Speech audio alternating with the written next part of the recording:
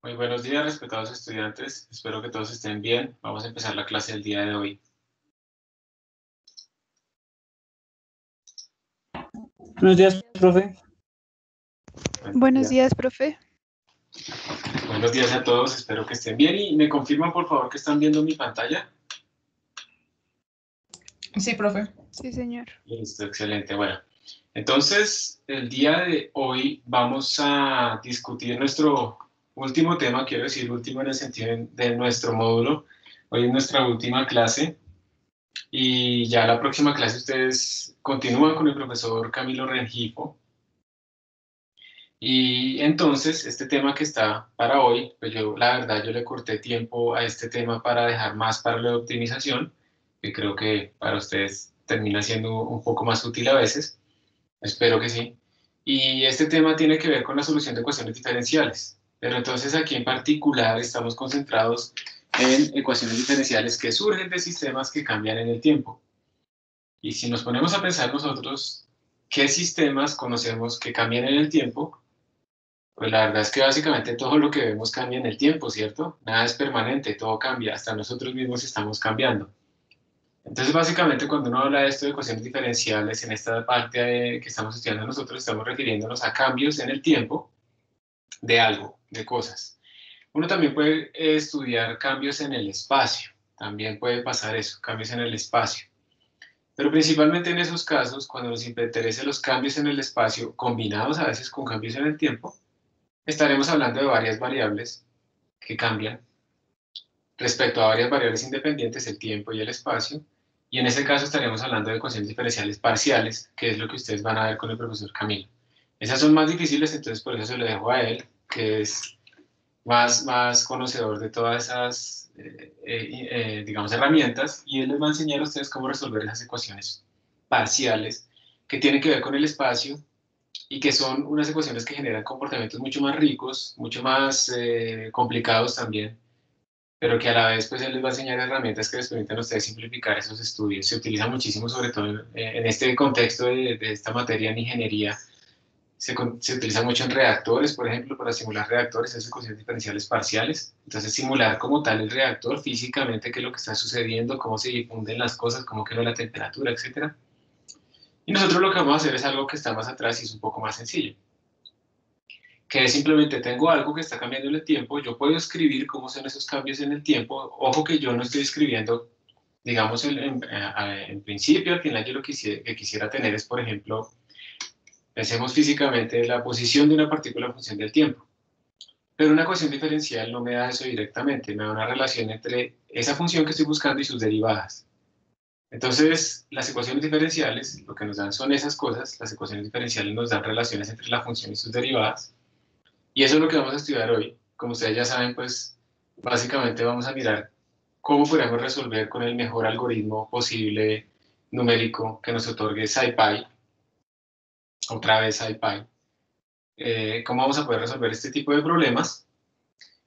Y luego vamos a hacer unos ejercicios, pero antes quiero entonces mostrarles a ustedes como una introducción de estas ecuaciones, entonces vamos a ver un par de videos para, para que nos apropiemos un poco más de todo este tema. Este tema de ecuaciones diferenciales sirve para modelar cualquier cosa. Uno, por ejemplo, también incluso podría modelar hasta, o sea, cualquier cosa que cambie en el tiempo se puede expresar, o se podría en principio expresar en términos de una ecuación diferencial, y van a ver que incluso hay ejemplos en donde uno puede, por ejemplo, simular la relación entre Romeo y Julieta, por ejemplo, una relación amorosa, entonces uno, dependiendo de los coeficientes que uno añade a su ecuación, uno puede modelar, por ejemplo, un Romeo súper intenso, que que cuando Julieta le, mejor dicho, le da un poquitico de cariño, entonces Romeo se vuelve súper, súper intenso, o sea, su amor se multiplica por mucho, eso, eso se puede escribir de cierta manera.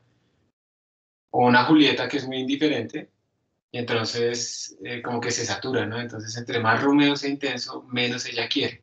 Todo eso lo podemos escribir de cierta manera. Cuando uno modela con ecuaciones diferenciales, voy a escribir aquí un poco ese ejemplo.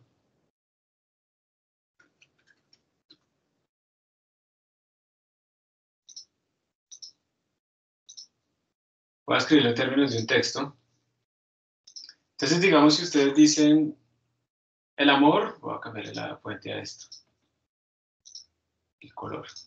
El amor de Julieta lo vamos a llamar J, ¿sí? Entonces, el cambio del amor de Julieta en el tiempo, o sea, de J de T, eso es el cambio, lo podemos escribir como, por ejemplo, algo que depende de Julieta misma, una constante A, que puede o no depender del tiempo, más una constante B por el amor que le da Romeo. Y de la misma manera, el cambio que eh, Romeo, el cambio del amor de Romeo hacia Julieta en el tiempo, pues va a ser algo que depende pues también de Julieta y va a ser algo que depende también del mismo Romeo. Entonces, pensemos, pensemos por ejemplo, pensemos por ejemplo una, una Julieta que sea indiferente. ¿Qué quiere decir eso en términos de esos coeficientes A y B? ¿Ustedes qué le pondrían a una Julieta que sea indiferente?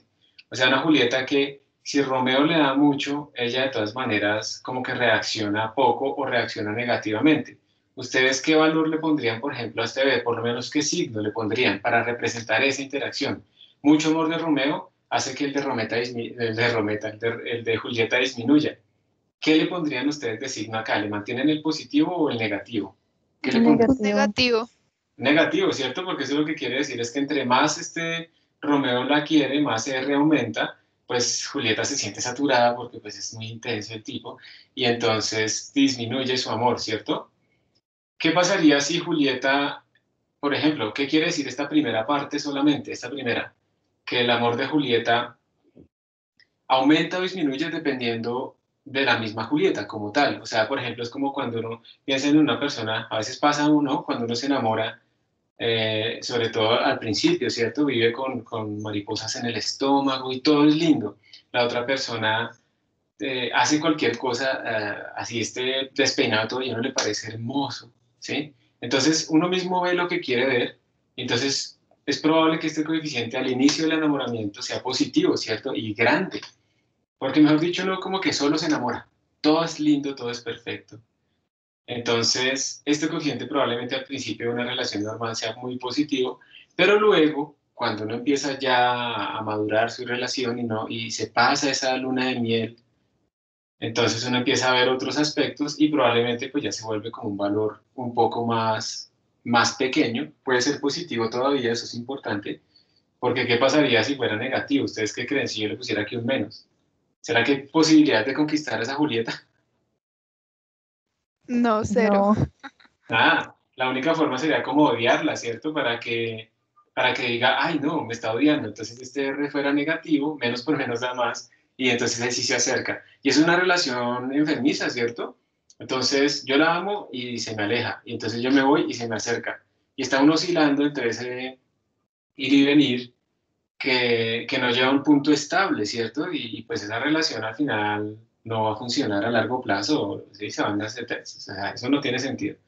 Entonces, esto se puede hacer así, lo mismo se puede hacer con Romeo, ¿cierto? Entonces, con Romeo, por ejemplo, también aquí lo que estamos diciendo es que el amor de Romeo aumenta, suponiendo que es positivo, el, el, el signo es explícito, aumenta con el amor de Julieta, pues eso es como razonable, ¿cierto? Si Julieta lo quiere más, pues Romeo lo quiere más, pero también Romeo también se autoenamora mucho, ¿sí? También se echa sus cuentos y entonces ahí también eh, uno tiene como una dinámica rara. Y dependiendo de estos signos que ustedes le pongan a este sistema, pues ustedes van a encontrar dinámicas muy diferentes. Hay dinámicas oscilatorias que son como enfermizas, como esas que acabamos de ver, del, del odio al amor, el odio al amor, el odio al amor, y nadie aguanta eso, ¿no? O sea, llega un momento en que ya no más.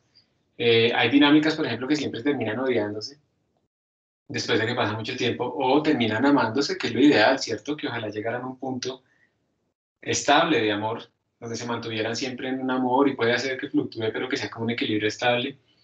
Y entonces al final lo que acabamos de hacer nosotros aquí fue modelar un sistema de ecuaciones diferenciales, son dos ecuaciones de primer orden porque solo hay una derivada. Y miren que eh, cada una de ellas pues es una ecuación diferencial, estamos diciendo cómo cambia esta variable en términos de los valores actuales que tendría en este momento. ¿Listo? Entonces esto es lo que vamos a ver nosotros, cómo resolverlos. Pero si observan que uno no debe perder de vista que está modelando cosas y esas cosas están metidas, esas, esas, esas interacciones en estos coeficientes y dependiendo del valor de esos coeficientes, uno va a poder predecir más o menos cómo va a ser la dinámica del sistema. A veces esto se puede resolver analíticamente, a veces no.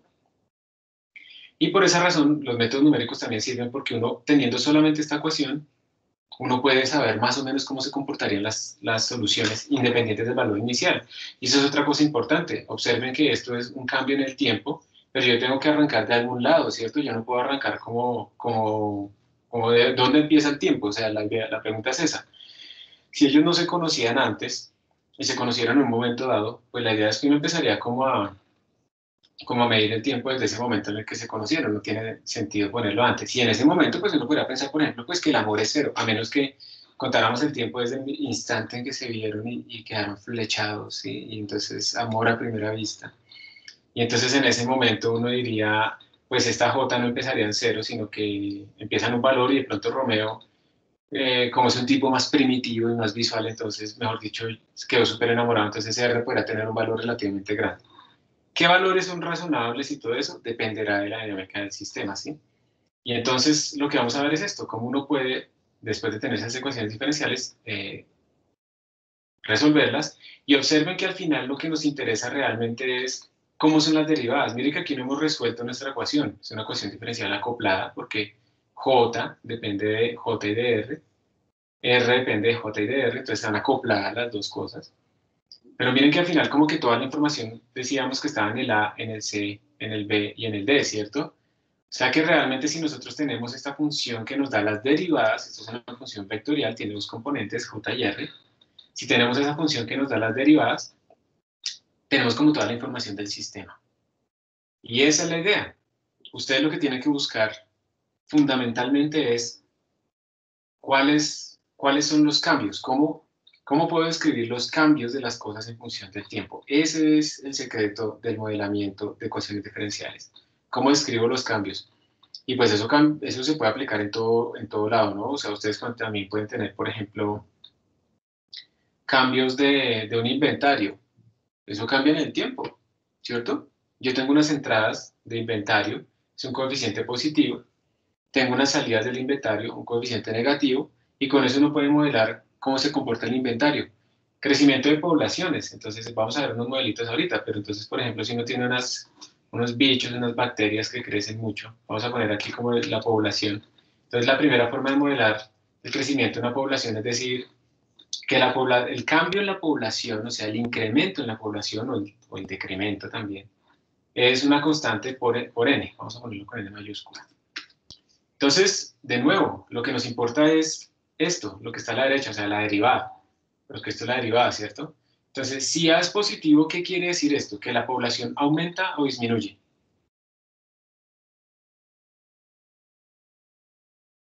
Aumenta. Aumenta, pero aumenta lento o aumenta rápido. Aumenta rápido. ¿Rápido? Eso va a aumentar rápido, ajá, va a aumentar muy rápido, porque es que miren que esto lo que dice es que la población, el cambio en la población va a ser proporcional a la población actual. ¿Sí? Eso es lo que estamos diciendo. Entonces, si ahorita tengo 10 personas, pues el cambio es proporcional a ese 10. Pero si en un año tengo 100 personas, ahora el cambio va a ser proporcional a 100. Y de hecho, esto es lo que está prediciendo, es que cuando uno resuelve esto, se puede resolver analíticamente, uno tiene que esto en función del tiempo es igual a n sub 0, digamos, el inicial, por e a la a por tiempo. Sí, eso es lo que uno tiene en la solución. Y esto es una exponencial, esto crece gigantesco, y eso quiere decir que esta población va a estallar, porque el crecimiento exponencial pues es muy, muy rápido. Ahora, piensen ustedes, digamos que ya sean personas o sean bacterias, ¿Es razonable pensar que siempre el crecimiento va a ser exponencial? ¿O ustedes creen que van a entrar otras cosas ahí a importar? Pues también debe tener tendencia a, como a morir, a quedarse en estable, latente. ¿Cierto? Tiene, que, tiene como que estabilizarse. Y entonces empecemos a pensar aquí cuál es el significado de esta A y vamos entonces a llevar a, ese punto. ¿Cuál es el significado de esta A? Esta A nos dice qué tan buenos se reproducen, ¿no? Por ejemplo, si yo pongo que esta A vale 2, esto quiere decir que la población crece con una tasa tal que su, digamos, su tasa nueva, la población nueva va a depender como dos veces la población actual. Y si yo pongo aquí 4, pues entonces crece más rápido. O sea que esto nos está dando como la tasa de crecimiento exponencial, está A. Pero uno sabe que las cosas no crecen indefinidamente. Por ejemplo, si ustedes están, empecemos a hablar de recursos, están en un sitio acotado y empieza a aumentar un montón la población, pero los recursos no aumentan de la misma manera, por ejemplo, que sean recursos no renovables o que sean recursos renovables, pero que se demoran en crecer, árboles, por ejemplo, y cosas así. Entonces uno sabe que uno no puede simplemente decir que las cosas van a crecer indefinidamente, entonces uno pone un término de competencia que se puede modelar de muchas maneras, a veces se pone de esta forma. Aquí estamos normalizando la N hasta máximo 1, como una población máxima, digamos, que soporta el sistema. Y cuando uno pone esto así, uno está diciendo, listo, hay una parte, esta primera parte que crece con n, pero hay una segunda parte que disminuye con n. Y el resultado total de todo esto es que nuestra población ya no va a crecer de forma exponencial, sino que se va a saturar. Y entonces ahora el parámetro A va a tener información de qué tanto está compitiendo nuestra población, no solamente de qué tanto se puede reproducir, sino también hay un efecto del entorno.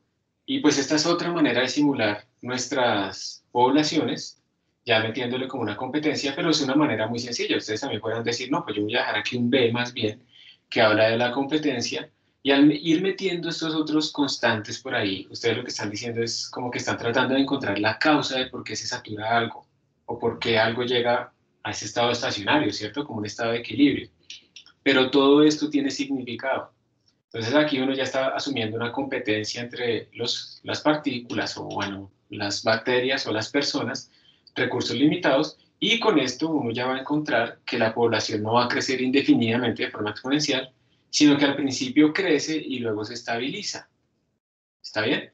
Y luego uno puede decir, no, pero es que entonces surgió que apareció una enfermedad o que cuando hay mucha gente se empiezan a enfermar y a morir. Entonces uno puede restarle con otro término que tiene que ver con la incidencia de esa enfermedad, cómo incide en el cambio de la población. Y eso sucede también en las grandes concentraciones de personas. Empiezan a aparecer enfermedades y empieza a bajar la población y todo esto hace que los puntos finales o los puntos de equilibrio en donde ya no cambia, o sea, cuando esto vale cero, pues esos puntos vayan cambiando.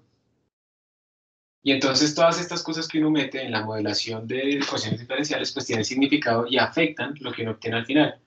Uno de los grandes, digamos, poderes en esto es que ustedes tienen cierta libertad de ir incluyendo efectos para tratar de estudiar el origen de, o las causas de esos resultados finales que están observando.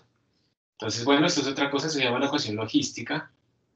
Y eh, este es un ejemplo también, la ecuación logística, es un ejemplo muy sencillo de unas ecuaciones que llevan a, a una cosa muy interesante y es, recordemos que estos son problemas de valor inicial, o sea, tenemos que dar una población inicial, no, no podemos arrancar desde un valor indefinido inicial.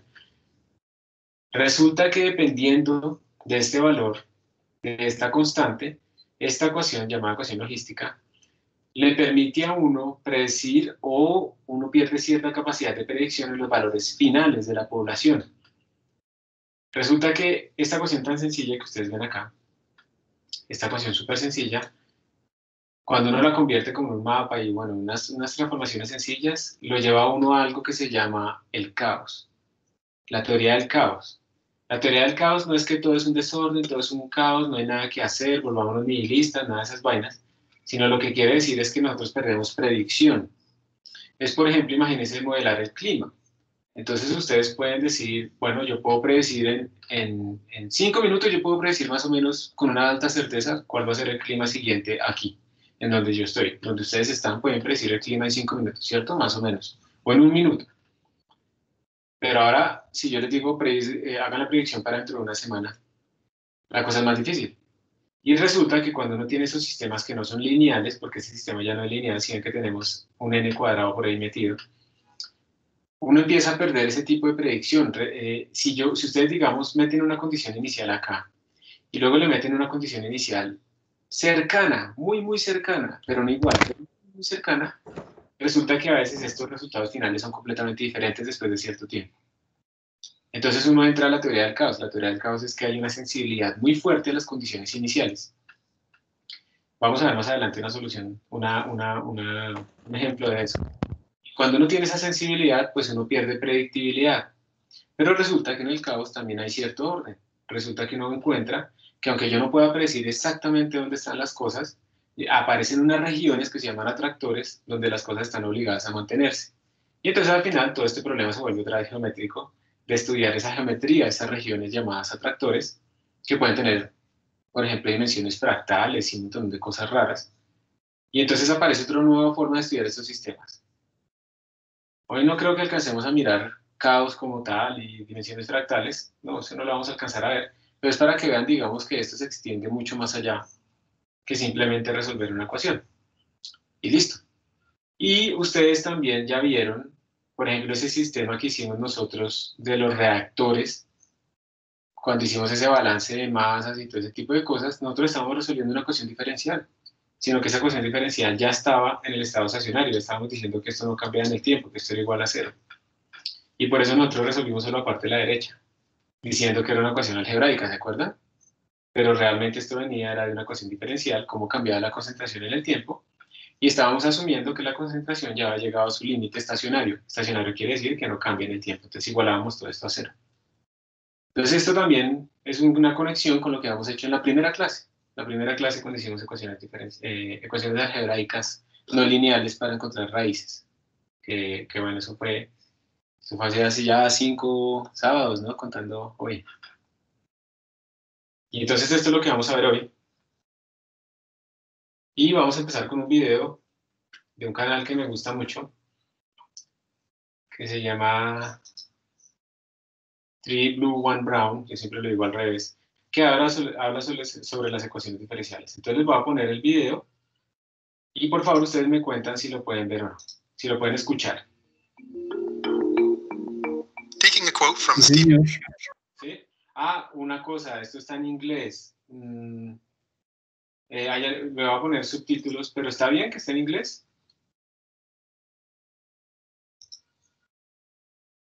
Espero que nada problema. Sí, profe. Sí, pero... Listo, ahí le puse los subtítulos en inglés que, que digamos... Since Newton, mankind has come to realize that the laws of physics are always expressed in the language of differential equations. Of course, this language is spoken well beyond the boundaries of physics as well, and being able to speak it and read it adds a new color to how you view the world around you. In the next few videos, I want to give a sort of tour of this topic. The aim is to give a big picture view of what this piece of math is all about, while at the same time being happy to dig into the details of specific examples as they come along. I'll be assuming you know the basics of calculus, like what derivatives and integrals are, and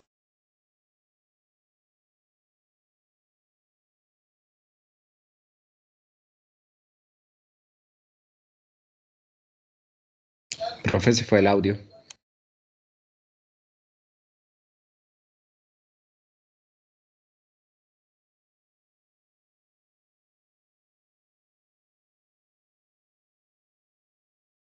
No se escucha, profe.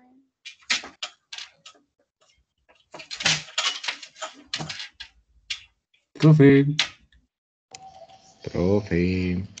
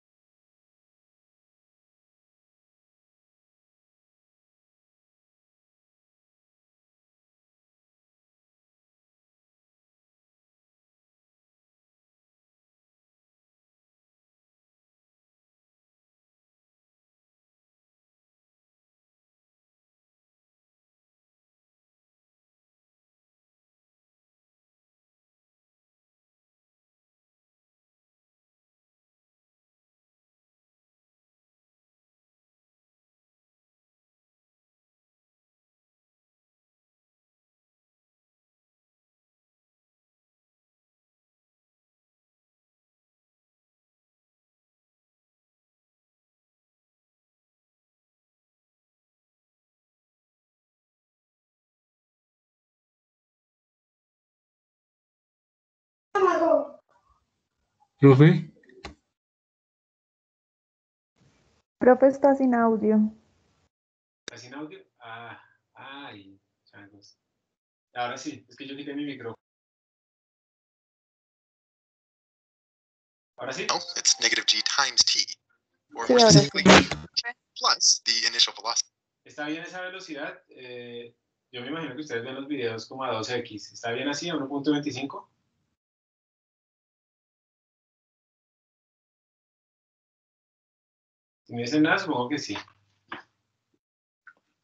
Sí. Notice there's many functions with this particular derivative, so you have an extra degree of freedom which is determined by an initial condition.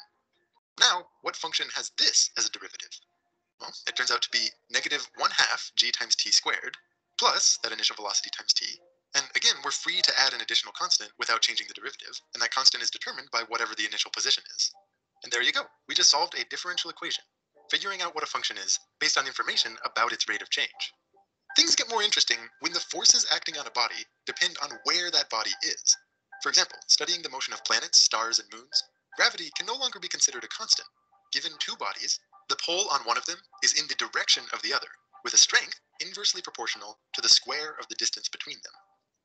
Aquí quiero hacer un, un paréntesis. Eh, la teoría del caos no surgió realmente recientemente, al menos, digamos, la- las primeras ideas. Estas surgieron cuando, cuando un matemático llamado, llamado Poincaré, él trató de resolver un, problema y era el siguiente.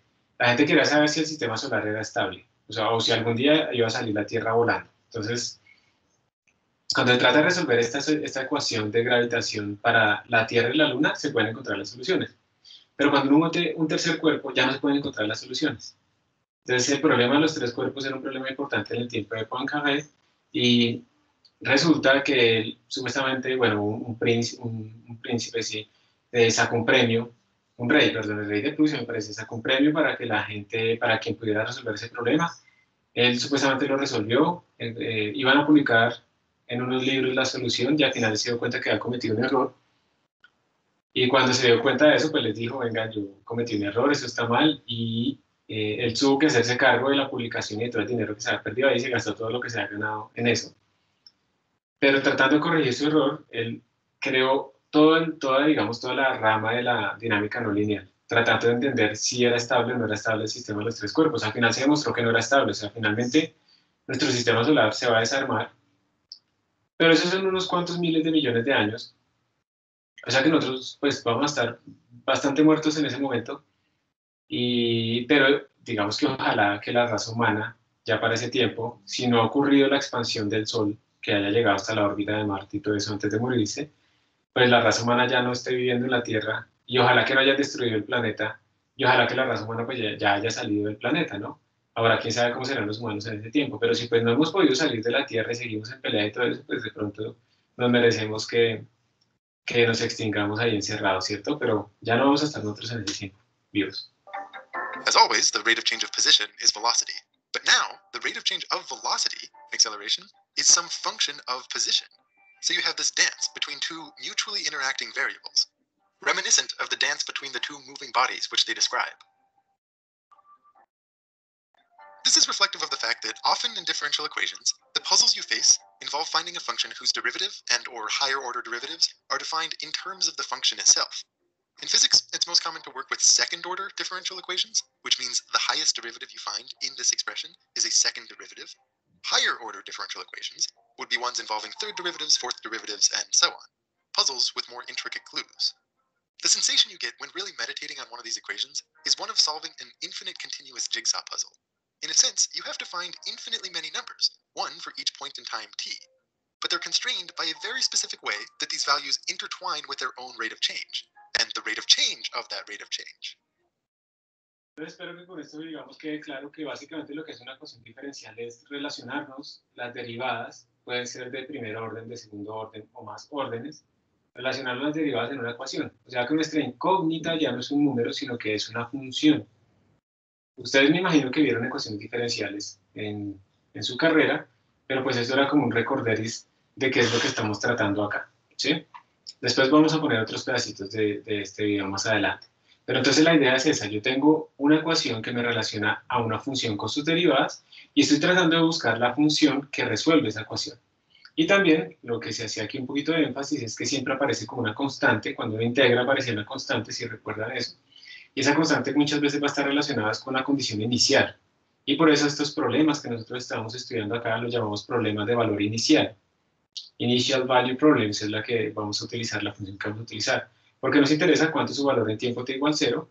Y luego con ese valor en tiempo t igual 0, uno puede empezar a estudiar cómo evoluciona el sistema. Pero precisamente en esa condición inicial hay un gran detalle. Porque si ustedes eh, recuerdan lo que acabo de nombrar del, de, digamos, de la teoría del caos, pequeños cambios en esa condición inicial pueden producir unos grandes cambios en nuestros valores finales. Y eso es lo que vamos a encontrar nosotros después cuando resolvamos sistemas que son caóticos.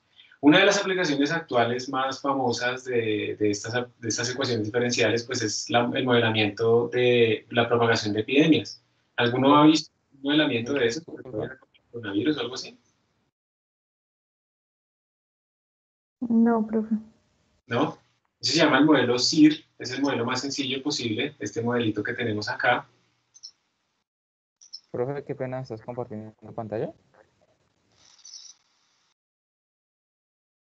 Sí, yo estoy compartiendo la pantalla. La dejé de compartir y la voy a compartir por si no la estabas viendo. Ah, vale, sí, señor. Gracias, profe. De nada. Y este modelo CIR lo que hace es básicamente decir lo siguiente. Miren, el modelo CIR se llama así porque uno tiene como una parte de susceptibles, otra parte que son los infectados y otra parte que son los removidos. Los susceptibles son como toda la población, ¿listo? Entonces a eso lo llamamos S. Los infectados pues son los que se infectaron, se enfermaron y los removidos son los que dejaron de estar infectados. Y pues aquí depende de qué tan cruel sea uno, uno puede decir que los removidos son los muertos, o también puede decir que son los recuperados, y entonces uno podría partir esto, estos removidos en dos, ¿no? En personas que han muerto, una tasa de mortalidad, y en personas que se han recuperado, ¿cierto? Eh, que es como lo que uno entiende ahorita. Básicamente el modelo CIR también es decir, cómo cambia S, cómo cambia I y cómo cambia R en el tiempo y tratar de estudiar esa dinámica. Entonces, miren que, por ejemplo, uno puede decir, ¿cómo cambia ese? A ver, ¿cómo, cómo, cómo puede cambiar la cantidad de susceptibles? Entonces, yo lo que puedo decir es, bueno, la cantidad de susceptibles cambia es si hay, o sea, si hay una tasa de infección. ¿Ustedes qué dirían? ¿Que la tasa de infección aumenta o disminuye la cantidad de susceptibles? Aumenta. La tasa de infección. Al ser mayor aumenta. La tasa de infección aumenta, quiere decir que disminuye los susceptibles, ¿cierto? Porque hay menos personas que se puedan infectar, porque ya están infectados. Exacto. Entonces, vamos a poner otra vez esto aquí en texto. Entonces, yo podría decir que el cambio de los susceptibles en el tiempo será igual. Primero, él va a perder con la tasa de infección, ¿cierto? Vamos a perder. O sea, entre más, entre más se infecte, este va a decirnos qué tan infecciosa es esta infección. Entonces, entre más gente se infecte, pues menos susceptibles voy a tener, ¿cierto? Entonces, por eso le pongo el menos. Pero resulta que si mi infectado está alejado de mis susceptibles, pues yo en principio diría, pues no debería infectarlo, ¿cierto? Entonces, yo lo que tengo que también tener en cuenta, y es lo que se mueve acá, es que si, si yo tengo muchos susceptibles, probablemente muchos de ellos se puedan infectar. Entonces esto se modela de esta manera. Uno dice que la tasa de eh, susceptibles va a disminuir con una tasa de infección proporcional al número actual de susceptibles y al número de infectados, porque obviamente entre más infectados tenga, más personas me van a infectar de mis susceptibles y por lo tanto va a disminuir más mis susceptibles. Y entonces la tasa de infectados debería aumentar ¿cierto? Debería aumentar con este factor. Si yo disminuí la tasa de susceptibles, quiere decir que aumentó la tasa de infectados, ¿verdad? Eso es lo que estamos diciendo. Y ahora, de los infectados, yo voy a recuperar algunos. Vamos a, olvidarnos por ahora de muertos. Vamos a decir que todos los recuperados están aquí muertos o que se recuperaron de verdad, se curaron. Todo eso va a estar ahí en el. Entonces voy a tener una tasa de recuperación, una A, la vamos a llamar esa tasa de recuperación, y pues esa tasa de recuperación solamente está afectada por el I. Entonces, si yo recuperé gente, pues I perdió. y quité infectados y los volví recuperados. Entonces, esto tendría que quitarle, por eso le pongo el menos. Sería A por I, esa es la forma en que disminuyen los infectados, y eso sería la misma forma de R de T, igual, sería, esta sería la forma en que aumentan los, los recuperados, sería más A por I.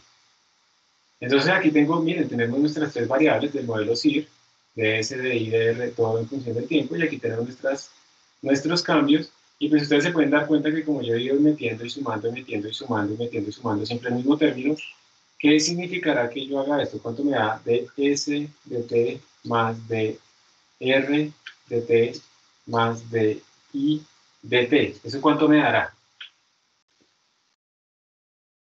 Si ustedes lo hacen ahí.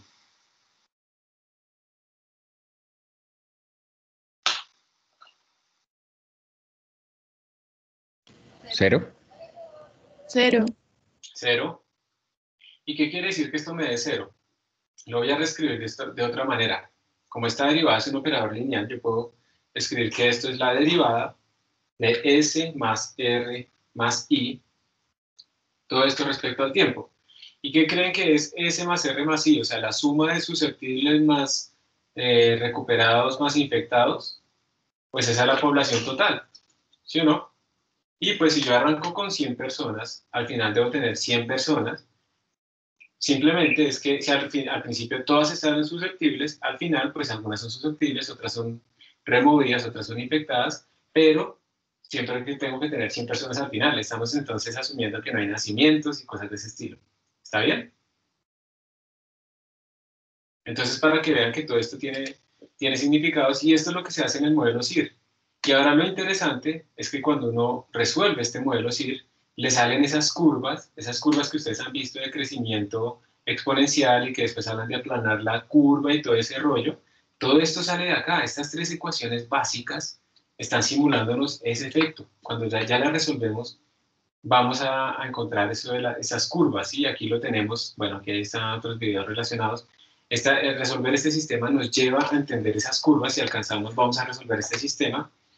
Y, y entonces de ahí es que viene lo de aplanar la curva y entonces ustedes van a ver que jugando con estos parámetros, el parámetro de infección, por ejemplo, y el parámetro de recuperación, es que uno obtiene si llega a una curva muy alta o llega una curva más baja, qué tanto se demora uno en salir del pico y un montón de cosas más se pueden sacar de este modelo tan sencillo.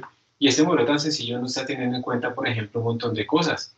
Este modelo está, tan sencillo está asumiendo que todo el mundo está interactuando con todo el mundo, o sea, que es una ciudad sin aislamiento. Entonces, ¿cuál será el efecto del aislamiento, por ejemplo? Este modelo no lo tiene, toca hacer un modelo diferente. Y eso implicaría, si uno quiere mantener este modelo, pues el aislamiento implicaría que hay menos susceptibles disponibles para ser infectados y en cierta manera uno podría modelarlo bajando el B. Entonces uno podría decir, este, esta cuestión diferencial va evolucionando y en cierto tiempo voy a hacer un aislamiento que baja el B a la mitad. ¿Cuál es el efecto? Y entonces ahí uno puede ver cómo cambia completamente la tasa de infección y entonces cómo cambia completamente la dinámica. Pero ¿qué pasa si abrimos otra vez las puertas y todo el mundo anda en la calle con el tapabocas en el cuello o en las orejas, pero no se lo pone bien en la cara y no hay aislamiento efectivo? Pues que este debe aumentar, va a ser más infecciosa nuestra infección y vamos a tener problemas. Y entonces, si el A se mantiene constante, entonces vamos a saturar el sistema de salud. Pero ¿cómo haremos para cambiar el A? Entonces podríamos tener más hospitales preparados, más profesionales de la salud listos, mejor pagados, porque ahora ya lo está, en este momento lo están empezando a contratar por horas. Entonces están disminuyendo el A. Y entonces la cosa es que nosotros deberíamos es aumentar el A porque queremos es aumentar eso, que si ya se infectaron, pues que la tasa de recuperación sea alta. Y esto tampoco está teniendo en cuenta, por ejemplo, que el virus se demora 14 días en aparecer y desaparecer y que hay una época en donde son muy contagiosas las personas. O sea, este B depende de la persona realmente y tiene como una función en el tiempo, que es más alta, más o menos a los 3, 4 días de infección. Cuando la persona desarrolla síntomas, es mucho más infecciosa que al inicio o que al final de su infección, por ejemplo. Entonces, todo eso son complicaciones que uno debe meterle a estos estudios, pero este modelito incluye muchísima de esa dinámica, ¿sí? Si ustedes ya lo quieren complicar más, pues obviamente tienen que, que mejorarlo. Y entonces a veces cuando uno quiere como ir a esos puntos de, de específicamente, si yo tengo la gente moviéndose por todo lado, encerrados en Transmilenio, y los aíslo, uno puede cambiar de modelo, de, de forma de ver esto, no volver las variables continuas, sino volverlas discretas. Y en ese caso uno puede hacer simulación más bien de agentes. Y entonces que la tengo acá. Vamos a ponerlo otra vez aquí.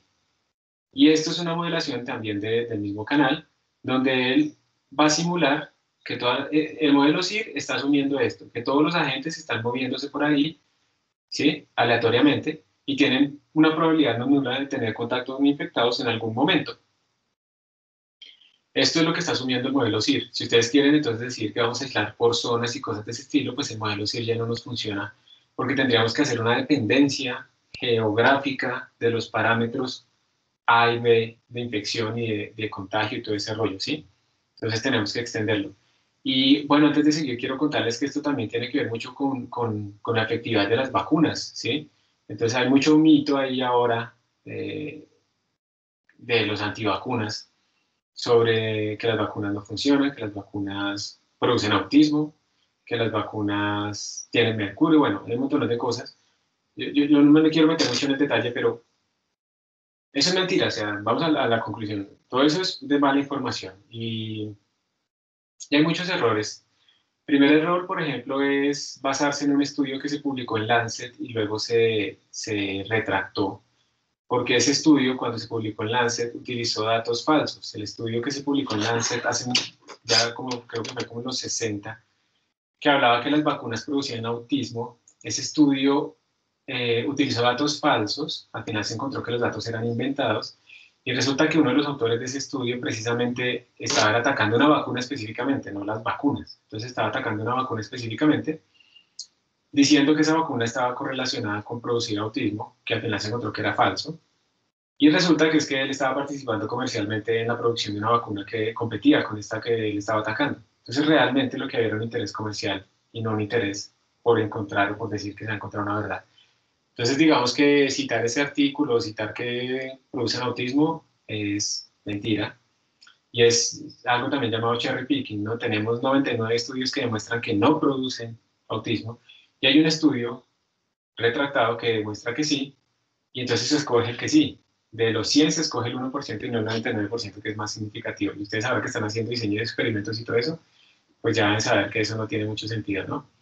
La otra cosa es lo del mercurio hay, eh, aquí seguramente ustedes deben saber mucho más que yo, pero hay diferentes maneras de, de, mantener los compuestos relacionados con mercurio. Y hay unas formas de mercurio que son neutras. Todo el mundo se imagina el mercurio así como el del termómetro o el de Terminator, así pues que es venenoso, que la gente a veces rompe los, los termómetros de mercurio para ver el mercurio como tal y después se, se mueren por estar inhalando eso. Pero es que esa no es la forma de presentar, no es la única manera de que se mantiene el mercurio. La forma en que se tenía el mercurio en las vacunas era para conservarlas, pero era una forma inerte que no le hacía absolutamente nada a las personas.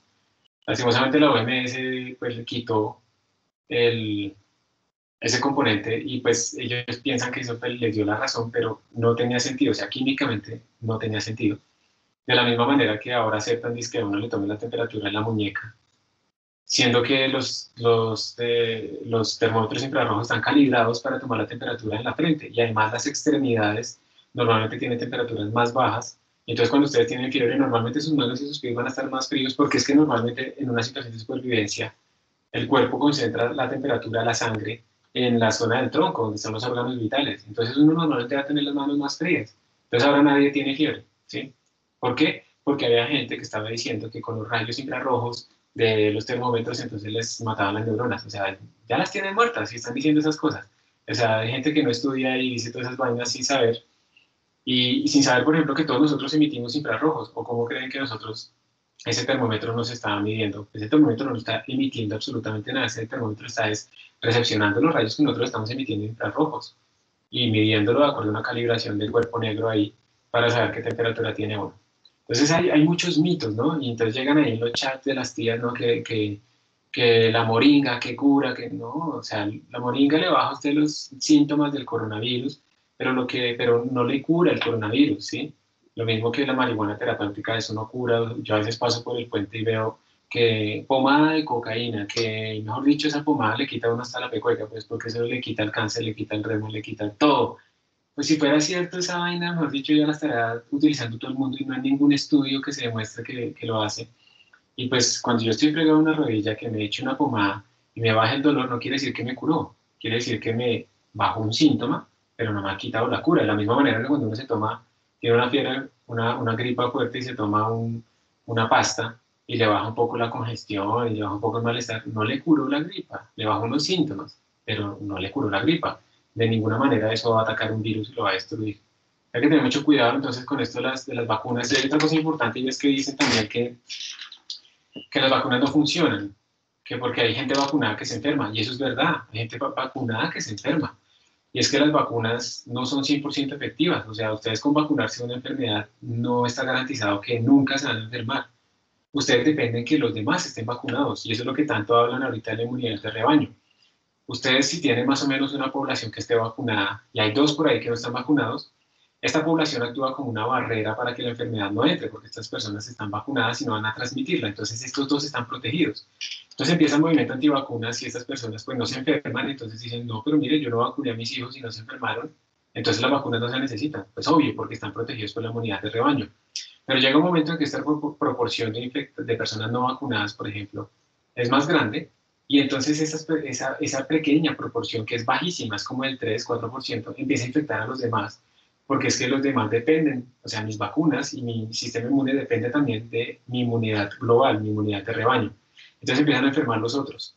Y ese es el grave problema en este momento, que como ya hay una proporción más alta de antivacunas, ahora sí se está viendo el efecto de enfermar incluso niños que están vacunados.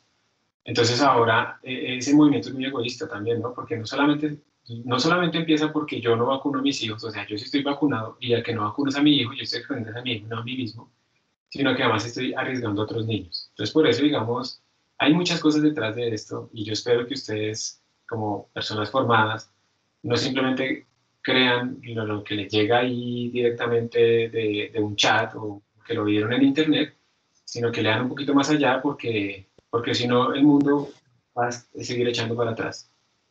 Perdón por el rato. Es como un, un, capítulo de, de Doctor House, que, que llega una niña enferma, pues una mamá enferma con el niño, que, que él no tenía la vacuna porque ella pensaba que eso era eh, por, por negocio, ¿sí? Sí. Entonces Doctor House le dice, ¿sabe qué otra industria es muy buen negocio? Le dice ataúdes para bebés.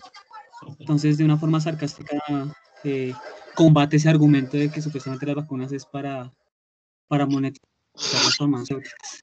Claro, y pues, o sea, uno no puede quitar eso, eso es verdad. Big Pharma y todo eso que se utiliza en, esas, en esos grupos, sí, es verdad, obviamente se están enriqueciendo, sí, y, ahí es donde tienen que entrar son los gobiernos a controlar los precios, porque estamos de acuerdo, o sea, hay unos medicamentos, digamos, por ejemplo, las enfermedades huérfanas que valen muchísimo, o sea, una persona, por ejemplo, en unas enfermedades infantiles que hacen, eh, que hacen debilitan, que debilitan la, la médula ósea, hay una, una vacuna nueva, hay un, un, tratamiento para eso que vale como 5 mil la dosis. Y entonces esas personas tienen que aplicar 5 mil dólares la dosis. Se tienen que aplicar eso como cada dos días. O sea, es una cosa que arruina completamente a las personas. Porque pues cuando es una enfermedad huérfana son pocas personas las que utilizan el medicamento. Entonces por la economía de escala pues el precio es más alto porque ellos tienen que mantener un margen. Y pues ahí donde debe entrar es el gobierno regular los precios.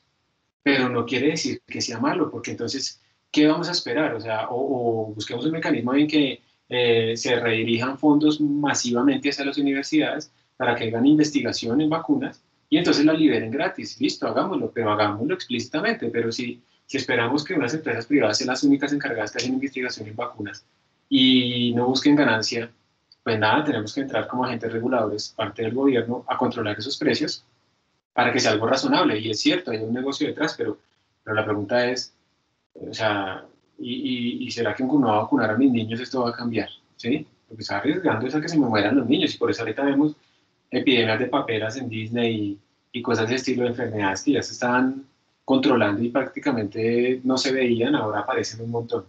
Entonces, hay, hay balances, hay balances y uno tiene que balancear las cosas y creo que, digamos, no solamente es rechazarlas que porque no sirven, es que es un argumento falaz, Realmente el único problema es lo de los precios y eso es controlable por el gobierno y por regulaciones. Entonces sí, completamente de acuerdo y ahí pues simplemente para que ustedes no caigan, ¿no? También está lo de los terraplanistas, ¿no? Entonces no, que la Tierra es plana, que, y salen con unas cosas, o sea, es tan sencillo como pensar en una esfera tan grande, cuando ustedes hacen un zoom en una esfera muy grande, pues van a ver que ese borde es plano, y nosotros somos, nuestro horizonte es tan pequeño, eh, comparado con la circunferencia de la Tierra, pues que vamos a ver las cosas planas, ¿sí? Y, pero eso es, eh, entonces hay, hay documentales, espero que ustedes lo vean en Netflix, creo que está un documental de los terraplanistas, que entonces diseñan diferentes maneras de medir la, qué tan plana es la Tierra, demostrar que no es curva. Entonces, por ejemplo, ponen un aparato con un láser a una gran distancia y si la Tierra es plana, pues el no se va a desviar y lo que les daba era específicamente lo mismo a que si la Tierra fuera curva. Entonces, no, no, no, esto debe estar mal. Entonces vamos a lanzar esto de otra manera, lo va a poner en un movimiento en un avión relativo y los tipos saben cómo plantear los experimentos. Y dicen, listo, si la Tierra es realmente curva, entonces, cuando pasen 15 minutos, ha recorrido un grado y entonces tiene que darme esta inclinación. Y si la Tierra es plana, pues no me tiene que dar eso. Y van y les da la inclinación, dada que la Tierra es curva, y dicen, no, no, no, entonces el experimento está mal. O sea, niegan tanto la realidad que al final no hay forma de convencerlos. ¿Vamos a entender? No hay forma de razonar. Entonces, ese problema del fundamentalismo. fundamentalismo lo lleva a uno a que uno ya tiene las ideas hechas y no hay manera en que lo cambien a uno así leen los argumentos. Entonces uno va y le dice a alguien antivacunas, no, mire esto, esto, no, tú eres de Big Pharma, tú ya, ya te tienen con el gobierno, no sé qué, eh, debes poner a prueba todo. Listo, pongo a prueba tu teoría conspirativa. Ah, no, eso no se puede, eso no lo puedes poner a prueba porque eso sí es verdad. Y en cierta forma al final es como sentirse especial, como ser un snowflake en una tormenta, pero yo soy especial y no sé qué. Y es muy complicado. Entonces la idea es, al menos si uno no puede convencer a los que ya están ahí, al menos tener argumentos para los que todavía no saben y uno mismo poder tener una certeza y poder saber cómo proceder en tanta desinformación que hay. Tierra plana, alienígenas ancestrales, ¿han visto eso alguna vez? Sí, profe. Es buenísimo, es, a mí me gusta. Sí, estuvo muy de moda. Sí, no, es, muy bueno, pero es el principio de la conservación de los problemas. O sea, sí, los seres humanos eh, fuimos creados por extraterrestres. Bueno, la pregunta fundamental al final no es, dejemos ese egocentrismo, no es tanto cómo, cómo, surgieron, cómo surgió la vida humana. La pregunta es cómo surgió la vida. Entonces, decir que los seres humanos surgieron porque los traen extraterrestres es la misma vaina. Entonces, bueno, ¿cómo surgió la vida de los extraterrestres?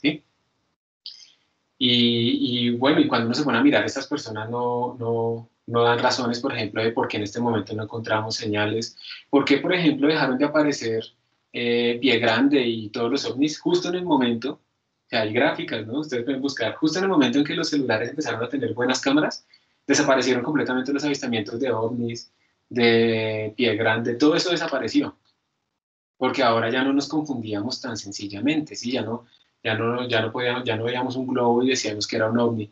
Y además, además que ovni no quiere decir que tiene extraterrestres. Objeto volador no identificado, no sabemos qué es, pero no, quiere, no implica extraterrestres. Además que si uno se pone a pensar lo de, lo de, por ejemplo, que los extraterrestres, a ver, miren, imagínense que ustedes van a viajar a otra galaxia, si ustedes, ustedes están en este momento dirigiendo la Agencia Espacial Colombiana con sede en Tumaco, listo, y entonces van a hacer una misión a Alpha Centauri, listo. Y tienen entonces que resolver un montón de problemas. El problema energético para darle energía a esa nave. Autonomía. Esa nave tiene que ser autónoma en funcionamiento durante muchos cientos de años. Por la escala de tiempo del ser humano, entonces el ser humano van a pasar varias generaciones. ¿Cómo hacemos para que la octava generación que va en esa nave no digan, ah, ya no vayamos por allá, ya, ya, ya esta misión no nos importa, eso es de los tataratatarabuelos y vámonos para otro lado o lo que sea, ¿sí? para tablitas pues de, de, ese tiempo. Eh, ¿Cómo hacemos para que haya variabilidad genética? O sea, nosotros no podemos mandar allá a, a cinco hombres y cinco mujeres solamente. ¿Qué tal se peleen y ya no tengan hijos y entonces se acabó en una generación y la nave después termina volando sola? Entonces, ¿cómo hacemos para hacer reproducción? Entonces, probablemente ya ni siquiera se busca lastimosamente reproducción, digamos, bueno, no por amor, sino que se cultiva al ser humano. O sea, resolvieron el problema de energía, resolvieron el problema de reproducción, de variabilidad genética, de conservación del cuerpo, se, de alguna manera, ordenaron el sistema social y todo eso. Y entonces, todos los extraterrestres lograron todo este montón de avances, ¿sí? Domina la nanotecnología, domina la mecánica cuántica relativística, todo esto, y llegan aquí a la Tierra a secuestrar vacas, o a secuestrar gente que vive sola por allá, o a hacer figuras en el trigo. O sea, lástima esos extraterrestres, ¿no? O sea, eh, si ese es el tipo de interacción que traen, pues no, no vale la pena que resolvieron todo esto y vienen a hacer círculos en el trigo. Entonces, hay vainas muy lógicas detrás de todo eso. Al final es, pues es chévere pensar en misterios, pero, pero hay cambios, cosas también misteriosas en la realidad que uno ve también estudiar. Bueno, ya no me salgo más, disculpen, pero me parece que a veces también es bueno tocar esos temas de ciencia común para que uno no caiga, ¿sí? Entonces, volviendo acá, ya les salgo de las vacunas. Esto es lo mismo, aquí tenemos unas personas infectadas y estamos suponiendo que todo se mueve, y esto es lo que supone el modelo CIR. I want to share with you a few simulations that model how an epidemic spreads. Esto que están viendo ustedes acá, estos son el número de infectados. Observen que, aunque esto está modelado de forma discreta, no son una ecuación diferencial, esto más o menos tiene la curva de infectados que uno va viendo y que es la que, la que asusta, ¿no? Los susceptibles van bajando y los removidos son este pedacito. Ese es el modelo CIR, pero discreto, por agentes. Y lo que se hace es que, por ejemplo, si este azulito que es susceptible está muy cerca de este infectado, pues infecta, se transforma también en infectado. There have recently been a few wonderful interactive articles in this vein, including one in the Washington Post by Harry Stevens, and then another by Kevin Simler over at Melting Asphalt. They are great, you can play with them, they're very informative. I'll, of course, leave links in the description. After seeing those, I had a few more questions. Like, if people stay away from each other, I get that that's going to slow down the spread. But what if, despite mostly staying away from each other, people still occasionally go to a central location, like a grocery store or a school? Also, what if you're able to identify and isolate the cases? And if you can't, Esto, esto de identificar y aislar los casos es lo que se llamaba control epidemiológico. O sea, se supone, primero, lo que está diciendo él, pues como ustedes escucharon, es que la gente puede estar más o menos alejada entre ellos, pero hay sitios de reuniones. Piensen en la universidad, piensen en un supermercado, una iglesia, ¿sí? Esos sitios de reuniones son sitios donde puede haber contagios masivos. Por eso es que eso es lo primero que hay que cerrar. ¿Y qué tal si, digamos, uno es suficientemente cuidadoso, de manera que si uno encuentra que alguien está infectado, uno masivamente testea alrededor y todas esas personas las, las aísla. Aislarla, pues no sacarlas como, pues, a, a chía, puedes encerrarlas en un potrero, sino que decirles que se tienen que quedar encerradas y controlar efectivamente eso. Eso, se- eso fue, por ejemplo, lo que se hizo en Alemania, testeo masivo de tal manera que uno rápidamente sabía que, quiénes eran los infectados y los aislaba. Aquí realmente no estamos haciendo testeo masivo, entonces digamos que las curvas que nosotros vemos de, de pruebas y de infectados son curvas que no tienen la realidad y, y lastimosamente pues eso quiere decir que nosotros tenemos más infectados de lo que están reportados y entonces la única curva que realmente es como más clara pues es la de muertos lastimosamente. what if a few slip through, say because they don't show symptoms so they aren't tested? How does travel between separate communities affect things? And what if people avoid contact with each other for a while, but then they kind of get tired and stop?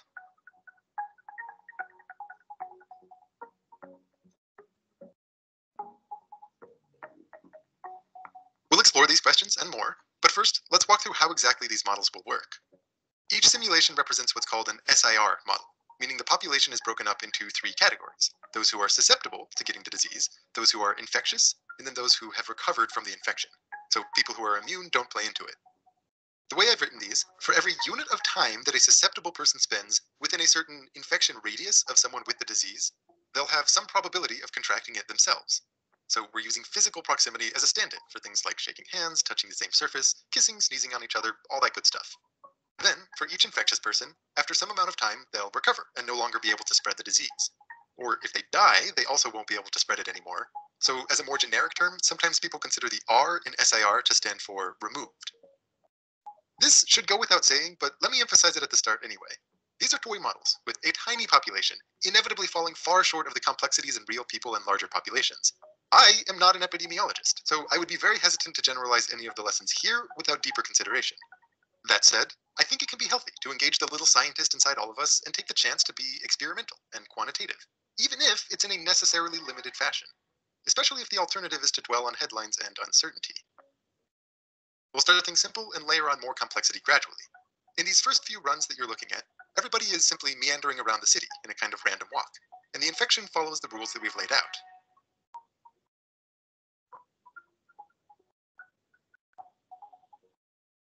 So it doesn't look great. After not too long, almost everybody gets infected. As a sanity check, what would you expect to happen if I double this radius of infection? You might think of this as representing more total interactions between people, or a more socially engaged society. It'll spread more quickly, of course, but how much? It's actually very drastic.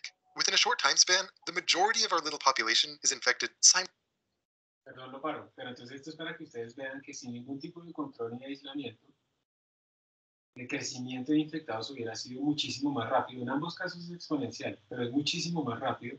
Y el problema no es en la epidemia que nosotros nos vayamos a, infectar, ¿cierto? El problema es que a, a todos nos va a dar, pero el problema es que nos dé a todos al tiempo, porque si la capacidad, digamos, del sistema de salud máxima para atender es esta, pues aquí hemos saturado el sistema de salud y entonces muchos de estos infectados no van a poder ser atendidos y entonces se van a morir más de los que se van a morir inevitablemente por coronavirus, porque simplemente no los pueden atender y ese es el gran problema y eso es una de las grandes confusiones que yo he visto en la gente respecto a las cuarentenas. Las cuarentenas no son para que a mí, a mí no me dé coronavirus. La cuarentena es para que nos dé a todos, pero de una forma lenta y así no saturemos el sistema de salud. El objetivo de la cuarentena es no saturar los sistemas de salud. En Colombia, digamos, la cuarentena empezó tarde, más tarde de lo que debía haber empezado, pero, pero funcionó. Lastimosamente el tiempo de la cuarentena no se utilizó apropiadamente para fortalecer más el sistema de salud y, y, digamos, se perdió un poco ese tiempo, pero el objetivo es no que no nos dé a todos, sino que no nos dé al tiempo, ¿listo? Esa es como la gran clave. Ese es el famoso término de aplanar la curva.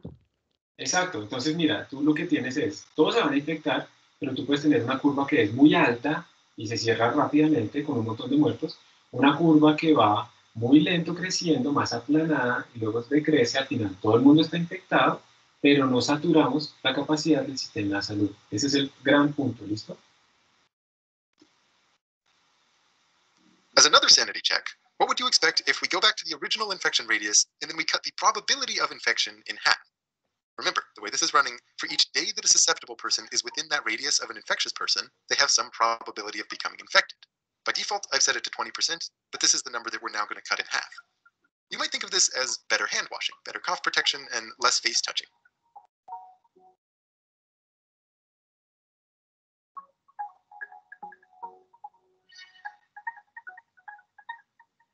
As you might expect, it spreads out the curve. In fact, it does this by quite a lot, which really illustrates how changes to hygiene have very large effects on the rate of spreading. The first of several key takeaways here that I'd like you to tuck away in your mind is just how sensitive this growth can be to each parameter in our control. It's not that hard to imagine changing your daily habits in a way that multiplies the number of people you interact with, or that cuts your probability of catching an infection in half. But the implications for the pace of the spread are huge. The goal is probably to reduce the total number of people who die, which is going to be some proportion of this removed category in the end.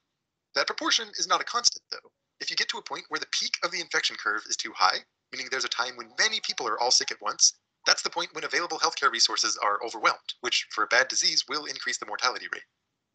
Now, I don't know where you're from, but in most towns, people don't actually spend their days drunkenly wandering around the city like this. Often there's a common destination, like a central market A menos que sean estudiantes. or school.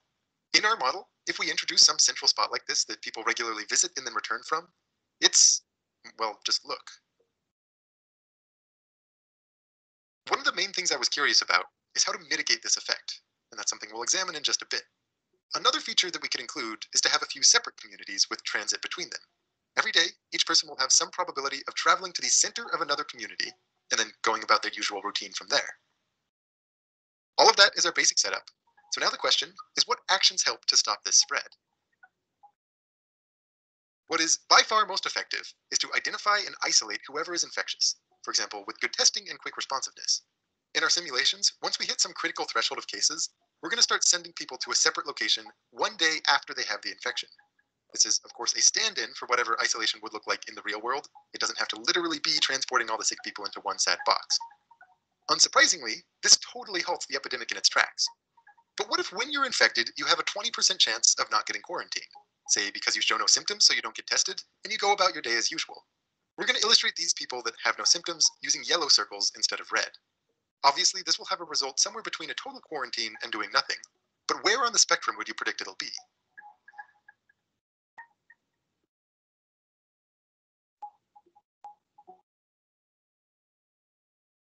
Uno de los grandes problemas con esta proporción, eh, digamos, con esta epidemia del coronavirus, es que inicialmente cuando China reportó los datos, China reportó que eh, la cantidad de asintomáticos era bajísima.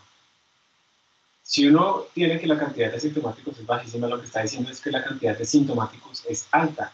Por lo tanto, eh, la detección de la enfermedad es alta y por lo tanto uno puede aislar. Resulta pues que eso era al revés, la cantidad de asintomáticos es muy alta.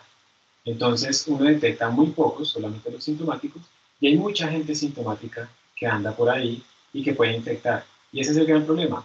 Bueno, los asintomáticos obviamente infectan menos, pero como son muchos más, pues eso compensa en cierta manera la, la baja capacidad de infección que ellos tienen. Y ese es uno de los grandes problemas que hubo en el control de, este, de, esta, de esta epidemia, sobre todo al inicio.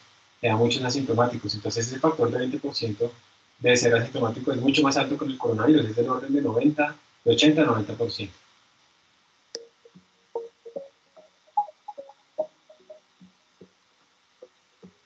Number of simultaneous cases is only a little bit higher, but there is a very long tail, as it takes a much longer time to stamp out, resulting in about twice as many total cases. This gets more interesting when we do it in a setting with many communities and transit between them. Again, totally effective tracking and isolation stops the epidemic very quickly.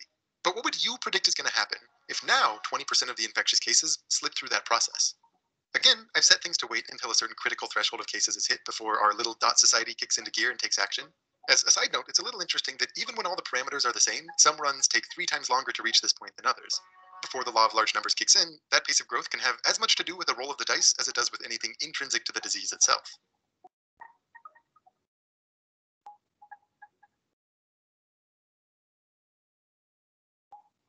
This leaky quarantining effort definitely flattens out the curve, but it is a much thicker tail and it takes a much longer time to track down all the cases, with over half the population getting infected this time. Now, what would you predict if it was only 50% of the infectious cases that were isolated like this? If half the infectious people are getting quarantined, it doesn't mean that half the total population will end up with the disease.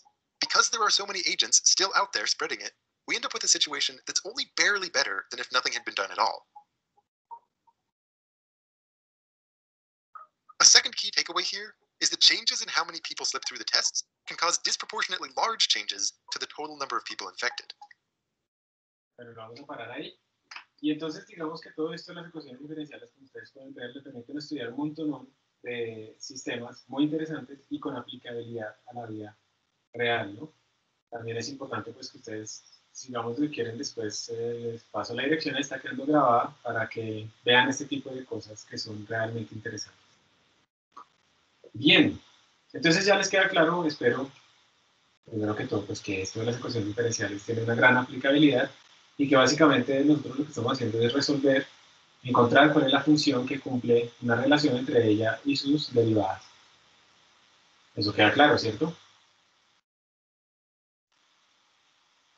Espero. Entonces ahora vamos a volver a... ¿Sí? ¿Alguien iba a decir algo?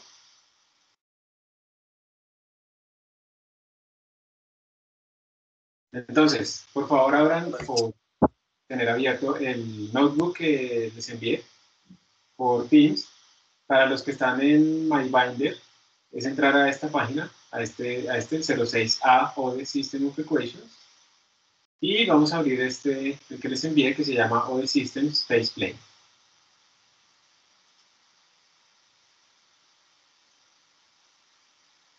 ¿Alguien tiene algún comentario, alguna duda? Es que me parece que alguien quiere hablar, pero, pero como que no.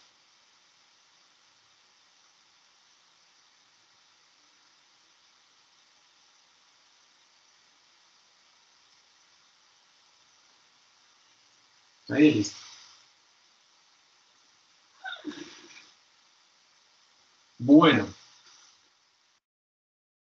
Entonces, de nuevo, lo que queremos hacer es cómo resolver estas ecuaciones diferenciales ordinarias. Estas ecuaciones diferenciales ordinarias que nosotros vamos a resolver son ecuaciones que también se conocen como problemas de valor inicial. Necesitamos una condición inicial para poderlas resolver.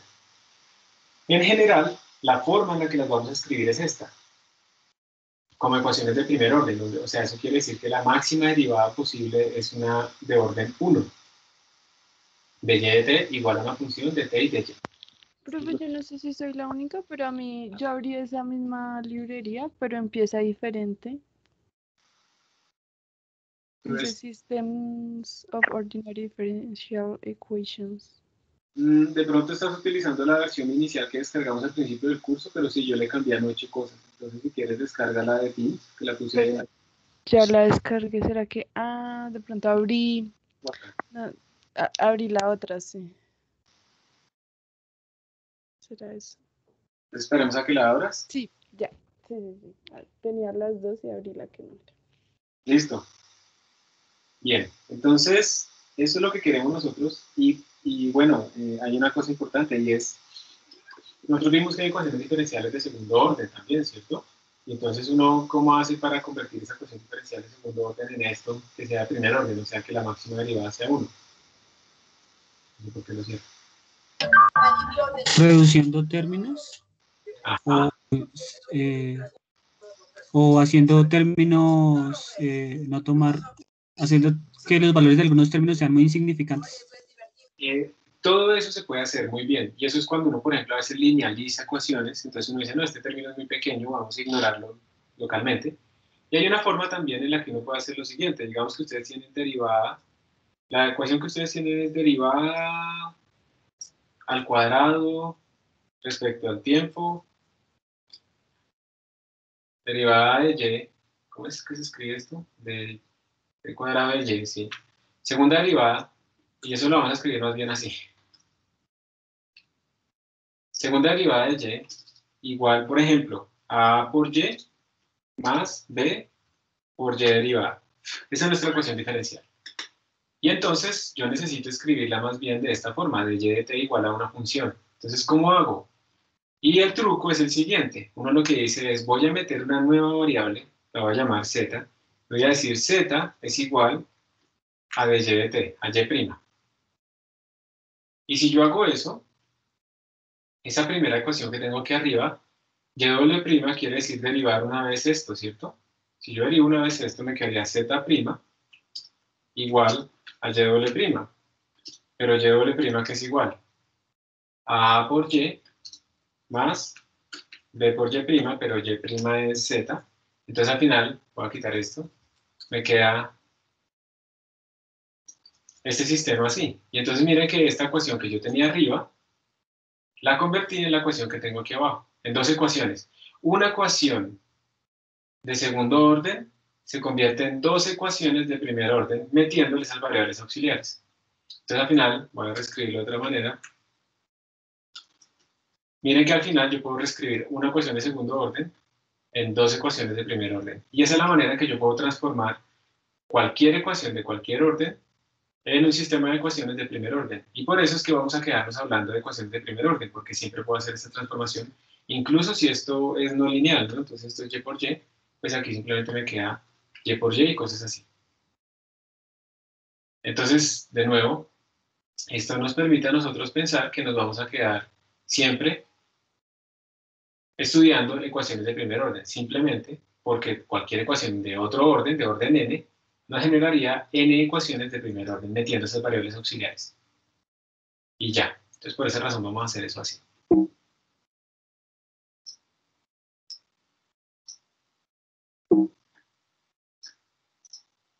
Bueno. Eh, la primera forma más sencilla de resolver esta ecuación se llama el método de Euler. ¿Ustedes, algunos de ustedes se acuerdan cómo era que les enseñaron ustedes a derivar? ¿Cómo fue que empezó ese rollo? ¿Ustedes se acuerdan de un límite por allá cuando h tiende a cero o algo así? ¿O no se acuerdan ya de eso? Yo no me acuerdo. Y es que eso fue hace Pues la- tiempo. Eso fue hace... Sí, creo que dos conceptos de derivada, una el límite y otro que es la pendiente, la recta tangente, ¿no?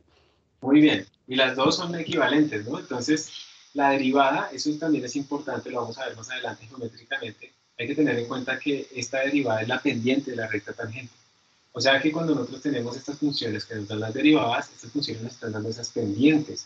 Y eso es súper útil, porque si uno piensa así geométricamente, uno puede pensar que las soluciones realmente se comportan como cosas que se están curvando de acuerdo a estas pendientes, y eso se llama el espacio de fase, que lo vamos a mirar ahorita qué es.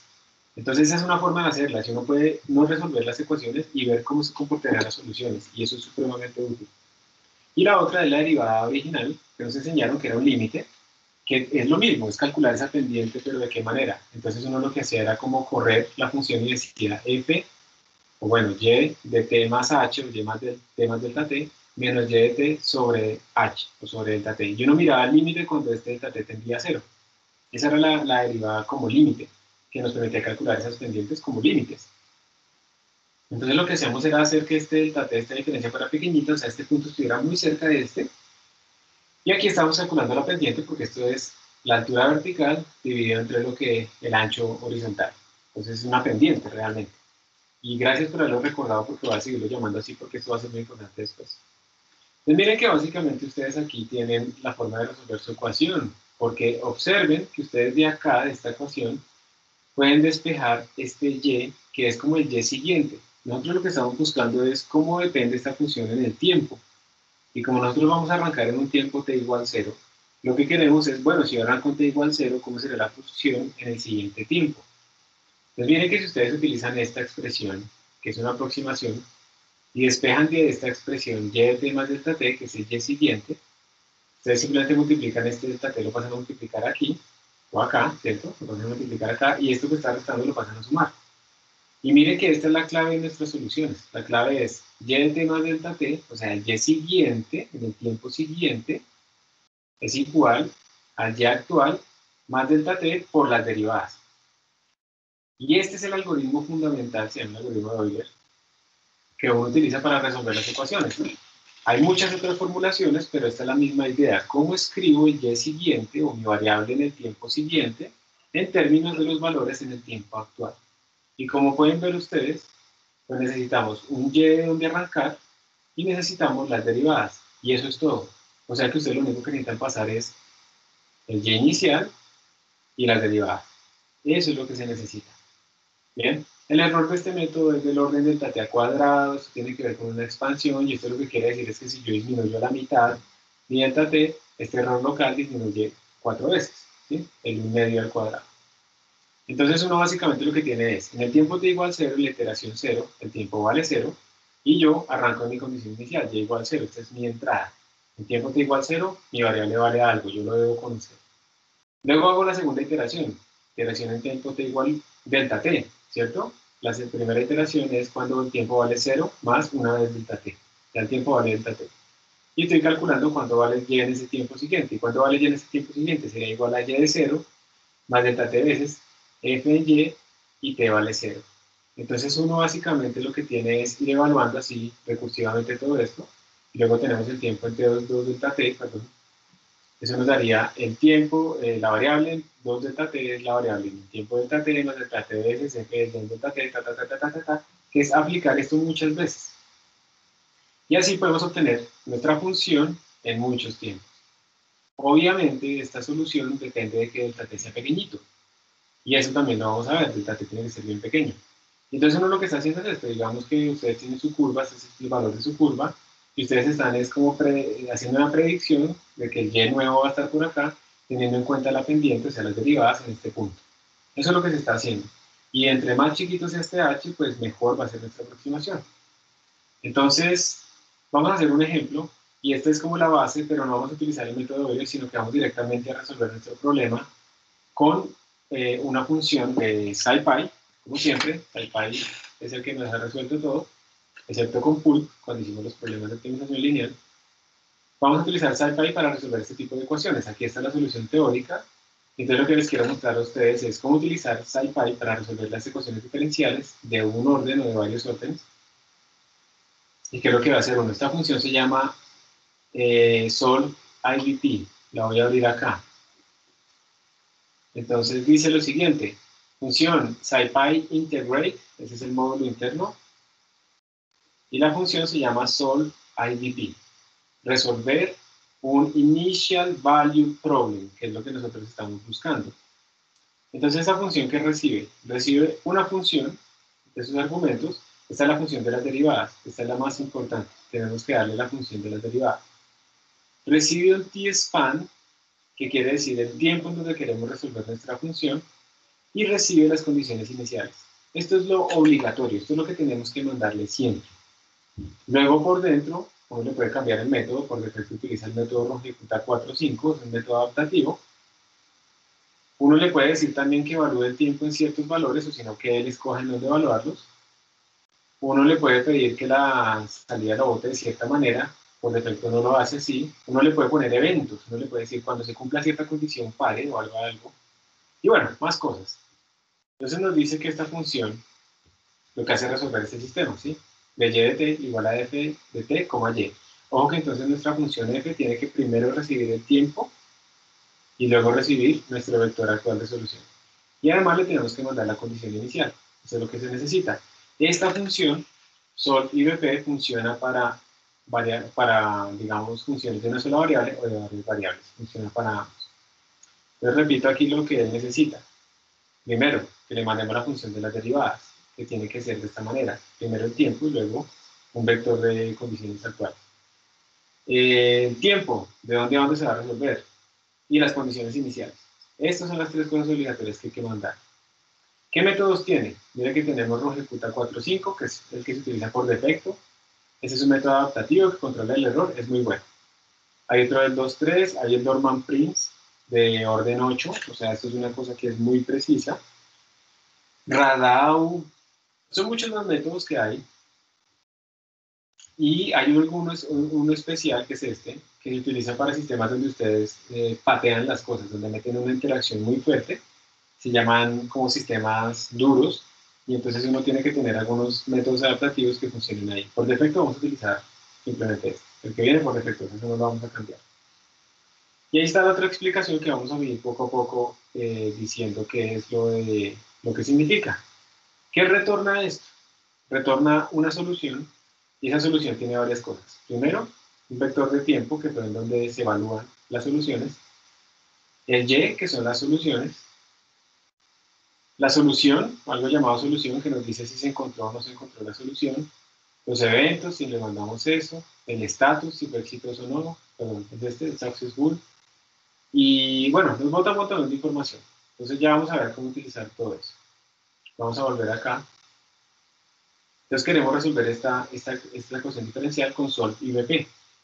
Entonces les recuerdo, lo que ustedes tienen que hacer es escribir, crear una función que retorne esta derivada. Eso es lo que necesita SolveIVP. Esta es la clave, las derivadas. Entonces tenemos que hacer una función que retorne esto. Entonces vamos a ver cómo se resuelve. Miren. Voy a explicar este código. Importamos NumPy, como siempre. Importamos de SciPy. Vamos a importar ese módulo SolveIVP, IVP.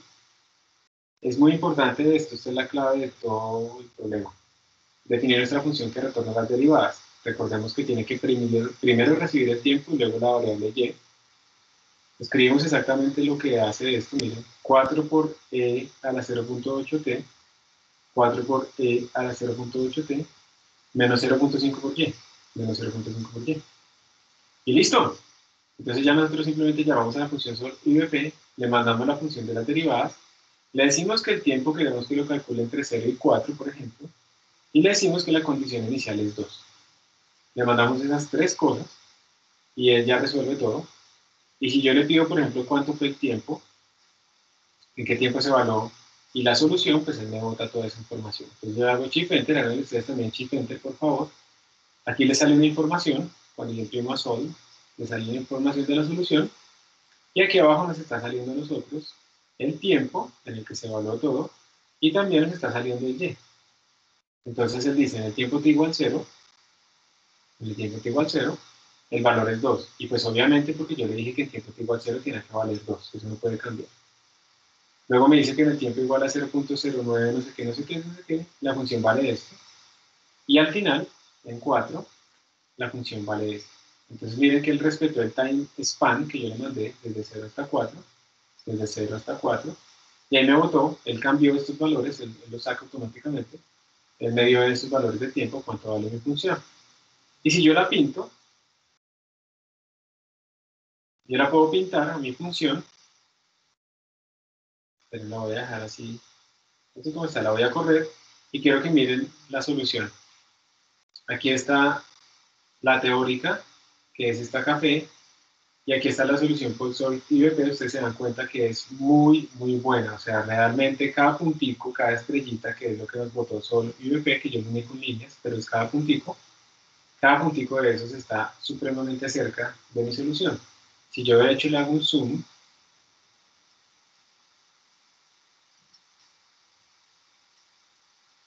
y le hago un zoom, y le hago un zoom, pues obviamente en algún momento se van a separar, pero observen que la separación es muy pequeña, aquí estamos en, aquí abajo dice la coordenada acá, 33.678, y aquí estamos en 33.68. O sea que nuestra precisión es como de 10 a la menos 4. O sea que esta solución es muy, muy buena. Y son solamente pues cuatro puntitos ahí, rápidamente. Entonces quiero que ustedes lo corran para que obtengan esta gráfica y me digan si tienen algún problema.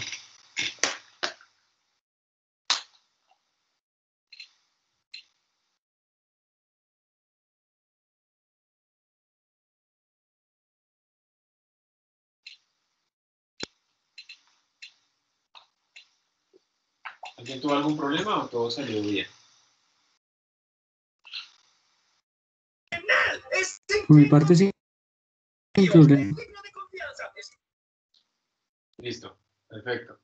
Entonces, ¿hay alguna diferencia? Miren que yo llamé a mi función, le puse un pi igual, ¿sí? Y le dije, yo le puedo decir a él, bueno, yo quiero que vaya desde 0 hasta 4, pero quiero que evalúen ciertos tiempos específicos. No quiero que lo evalúen el tiempo que usted escoja, sino quiero que lo haga en ciertos tiempos específicos y entonces ese tiempo yo se lo puedo mandar acá y él va a evaluarlo aquí, en estos tiempos específicos que yo le envié. Si yo, por ejemplo, le pongo que a pasos de T medios, mire que me van a salir más estrellitas, ¿qué dice?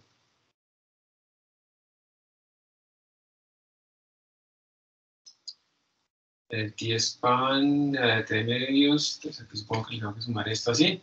Entonces miren que ahora yo le dije que me lo evaluara en pasos de delta T sobre 2, y entonces ahí salen más, más estrellitas. De hecho voy a quitarle esa línea con la que estoy pintando a mis datos acá, le voy a decir que lo pinte solamente con las estrellitas, para que ustedes vean cómo coincide lo numérico, que son las estrellitas, con lo teórico, que es la línea de café, y pues yo le puedo poner aquí más, más resolución, ya de T tercios, tengo que hacer este truco así, y ahí va apareciendo cada vez más, más, eh, eh, más fino, pero miren que siempre coincide muy bien. Esto es simplemente para que ustedes vean que este método de SOL y BP funciona bastante, bastante bien en estos casos. Entonces ahora yo les pongo aquí un ejercicio para que ustedes lo hagan, por favor. Hagan, resuelvan este, este problema, ¿sí? y por t al cubo menos 1.5 por y, y eh, aquí no tenemos solución teórica, entonces solamente quiero que muestren la solución numérica y pues que hagan la gráfica. Entonces, por favor, hagan esta solución ustedes mismos. Básicamente es coger y copiar este último script y pues adaptar lo que se toque, lo que toque adaptar, ¿no? También tenemos que, que, compilar, eh, que hacer una nueva función de derivada, ¿cierto? Adaptarla. Entonces les doy ahí unos minuticos para que ustedes lo hagan y luego lo hago yo. Voy a quitar la pantalla. Ustedes todos lo tienen, entonces voy a quitar la pantalla para yo irlo haciendo. Y cuando yo comparta mi pantalla, pues vamos a comparar la solución.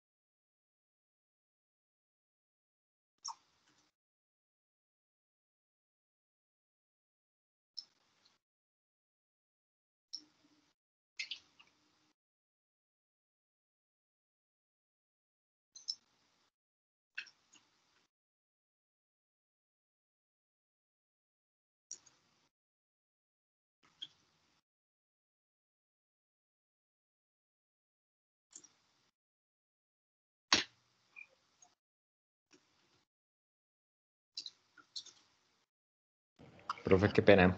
Señor. Es que a mí no me sale la imagen donde está el problema, sino que me sale, pues, un muñequito que cuando le doy clic ahí me sale un código, pero cuando lo ejecuto no, no me aparece la imagen. tienes que descargar el, otro, archivo que también le mandé de figuras. Sí, yo lo bajé y lo puse en la misma carpeta donde pues tengo guardado todo. ¿Lo descomprimiste? Sí, señor. Tienes que revisar si, si es comprimido, porque como tú tienes varios directorios FIG, entonces de pronto le puso otro nombre. Vale. Igual, ya lo encontré, voy a, a manejarlo así como una, como una imagen. Gracias. profe.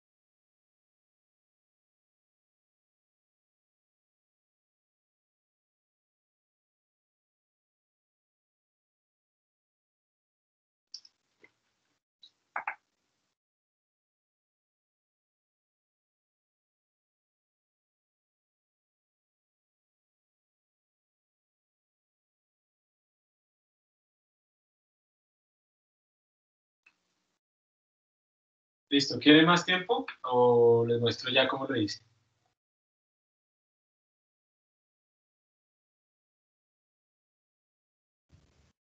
Profe, un momentico. Listo.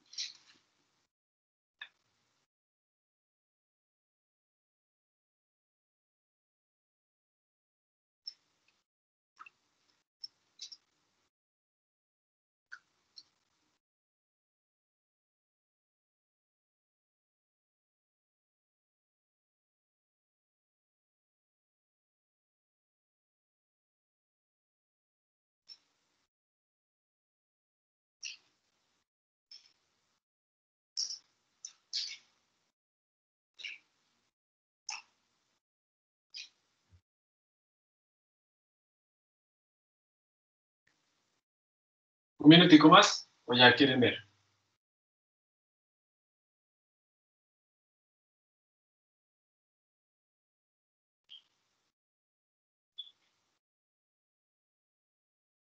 Bueno, nadie pidió más minutos, entonces vamos a compartir.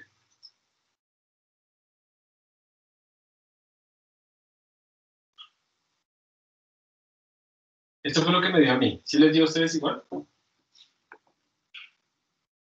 ¿O alguien no le dio así? Profe, yo no veo su pantalla. ¿No puedes ver mi pantalla? No, pero ya la compartí. No sé qué más hacer.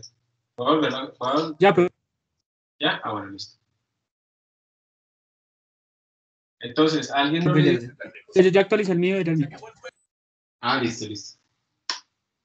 ¿A alguien no le dio así?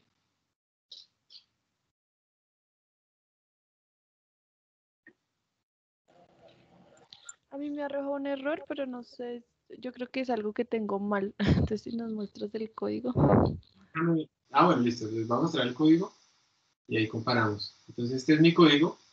Importe NumPy, importe solve IBP. Esta es la forma en que escribí la, las derivadas, ¿cierto? Y por t al cubo menos y por t al cubo menos 1.5 por y. Pongo el paso de tiempo que quiero. Yo le puse t igual a 0.1. El y inicial es 1, porque eso fue lo que me dijeron acá. y inicial valía 1. Le digo que el tiempo que quiero que lo evalúe va desde 0 hasta 2 más de t. Eso es un truco para que lo incluya el 2. Entonces, porque aquí me dijeron que fuera de 0 hasta 2. Resolví mi sistema. De hecho, aquí debería ser hasta 2, ¿no? Voy a ponerle otra cosa. Voy a ponerle t final igual a 2.0. Y aquí ya parametrizo todo esto más bien. t final. Y esto hasta t final. Más bien así lo resuelvo y eh, listo, después lo pinto. Mira, es porque, no sé si ustedes se dieron cuenta acá, miren que cuando él devuelve la solución, donde fue que yo imprimí la solución, miren que cuando él devuelve el tiempo, lo devuelve en un arreglo de una dimensión, pero miren que cuando él devuelve la solución en Y, lo devuelve como una matriz, ¿sí ven? ¿Y esto por qué? Porque como esto está diseñado para resolver sistemas de varias dimensiones, entonces él por defecto va a devolver esto como si fuera esta fuera la primera componente del vector, luego viene la otra componente del vector, etcétera. Como aquí solo es una variable, pues solo viene una sola fila. Entonces yo tengo que extraer ese primer vector y por eso es que cuando yo lo pinte, tengo que poner y de 0. Si yo no le pongo y de 0, es como si quiera pintar una matriz, entonces no me va a funcionar. Y pues ya, entonces así lo resuelvo. Entonces, miren, ahí está el código para que comparen.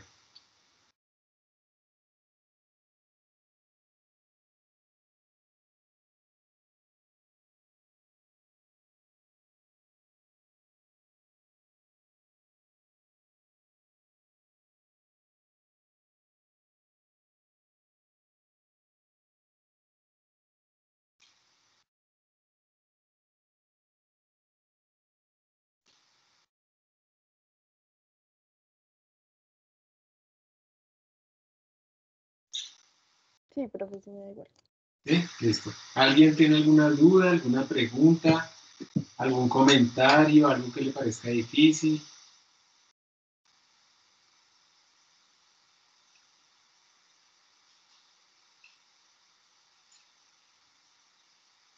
Ese T que tú pones 0,1, ¿por qué eliges ese valor? No, lo elegí a la- al azar. Mira que si yo le pongo un DT, bueno, más o menos es, bueno, no está en al azar. Como a mí me están diciendo que voy a hacer un, como un paso de 0 a 2, pues yo considero, en, en mi opinión, que un pasito de 0.1 me divide esto como en 20 pedazos. Y creo que eso es como lo mínimo, ¿no? Recuerda que obviamente el error es cada más pequeño entre más chiquito el DT, pero como este algoritmo es tan robusto, pues con un DT tan pequeño de 0.1, pues uno ya ve que más o menos tiene una solución apropiada. Pero pues tú puedes jugar, digamos que, digamos yo te puedo decir, si yo lo pusiera más chiquito, 0.01, pues obviamente me van a dar muchos más valores, ¿cierto? Entonces me queda casi como una función continua ahí, eh, a primera vista. O yo podría agrandarlo, podría ponerle 0.5. Entonces, por ejemplo, si yo le pongo un DT de 0.5, quiere decir que este tiempo lo partí en pedacitos de 0.5. O sea, son cuatro pedazos exactamente. Y entonces vamos a ver, y pues ahí más o menos va, pero ya no se ve tan bonito. Y pues ya viene otra cosa, ¿no? Si yo le pongo aquí en pedazos de a, de a dos, entonces ya es muy raro, ¿cierto? Y me hace una línea recta, el punto inicial y el punto final. Entonces, es la manera en que tú discretizas el tiempo y pues tú decides mm, qué tan fino quieres que sea todo. Y eso también va a depender de qué tan difícil es calcular las derivadas. Como que es tan rápido, pues esto se demora 142 milisegundos y pues da igual. Pero uno, entre, más ran- entre un rango más grande, pues también ese DT, o sea, si yo tuviera mi rango de 0 a 1000, ponerle un DT de 0 a 1, pues no. Es Muy muchos puntos, ¿no? ¿cierto? Entonces tú lo que puedes pensar, también puedes mirarlo así, tú lo que podrás pensar es que el DT, podrías decirlo así, DT va a ser eh, T final menos T inicial, si lo definimos como un T inicial que es 0, en este caso, sobre, y tú decides en cuánto quiero dividir mi intervalo, entonces tú dices, lo voy a dividir en 100 pedazos, siempre. Entonces si tu tiempo final crece, pues tu DT crece también, ¿cierto? Pero siempre tienes 100 pedazos. Y también lo puedes hacer así, y ahí tienes tus 100 pedazos, independiente de que si lo pones de 1 a, de 0 a 20, de 0 a 2 o de 0 a 20, siempre tienes 100 pedacitos. Bueno, aquí el man se toteó porque eso es una exponencial y seguramente esto se fue muy, muy grande, entonces por eso no puedo pintar. Entonces lo hice muy grande, pero pongámoslo a 4. Es de 0 a 4, entonces si ves que tienes tus 100 pedacitos. ¿Sí? Entonces también lo puedes definir de esta manera. Tú puedes decir que lo quieres dividir siempre en 100 pedazos y pues ya está. Ok, gracias. De, de nada. ¿Alguna otra pregunta? ¿Alguna otra duda?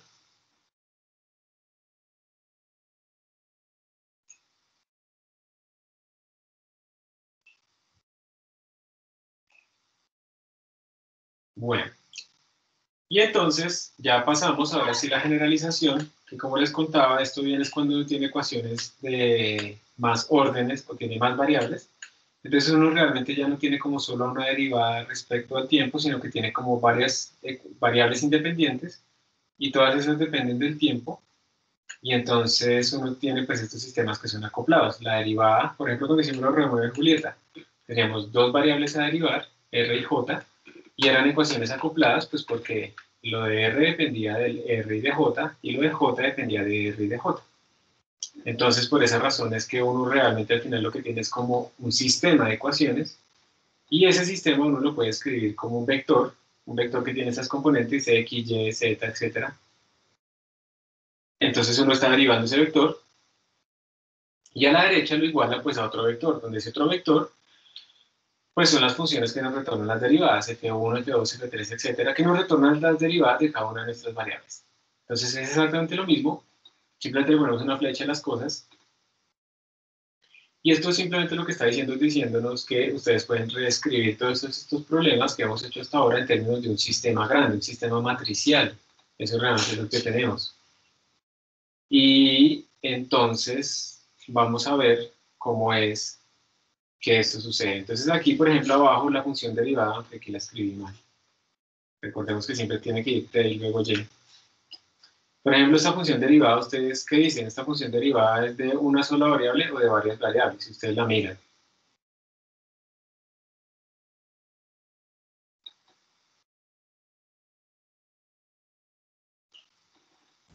De varias variables. Varias variables porque estamos mandándole una lista. Muy bien. Y porque él está leyendo aquí las componentes de Y. O sea, si ven que Y ahora es una lista, un vector. Entonces Y de 0, Y de 1.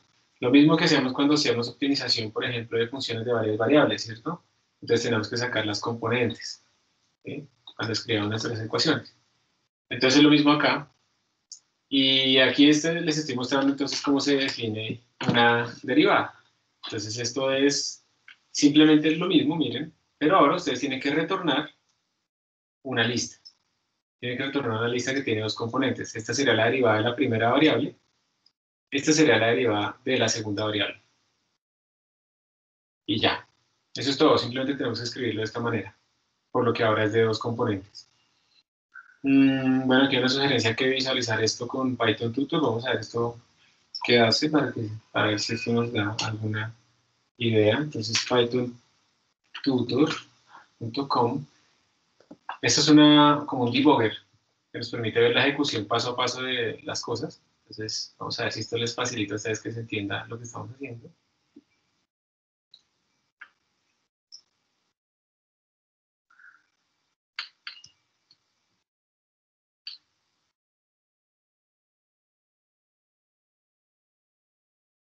Python 3 con Anaconda, listo.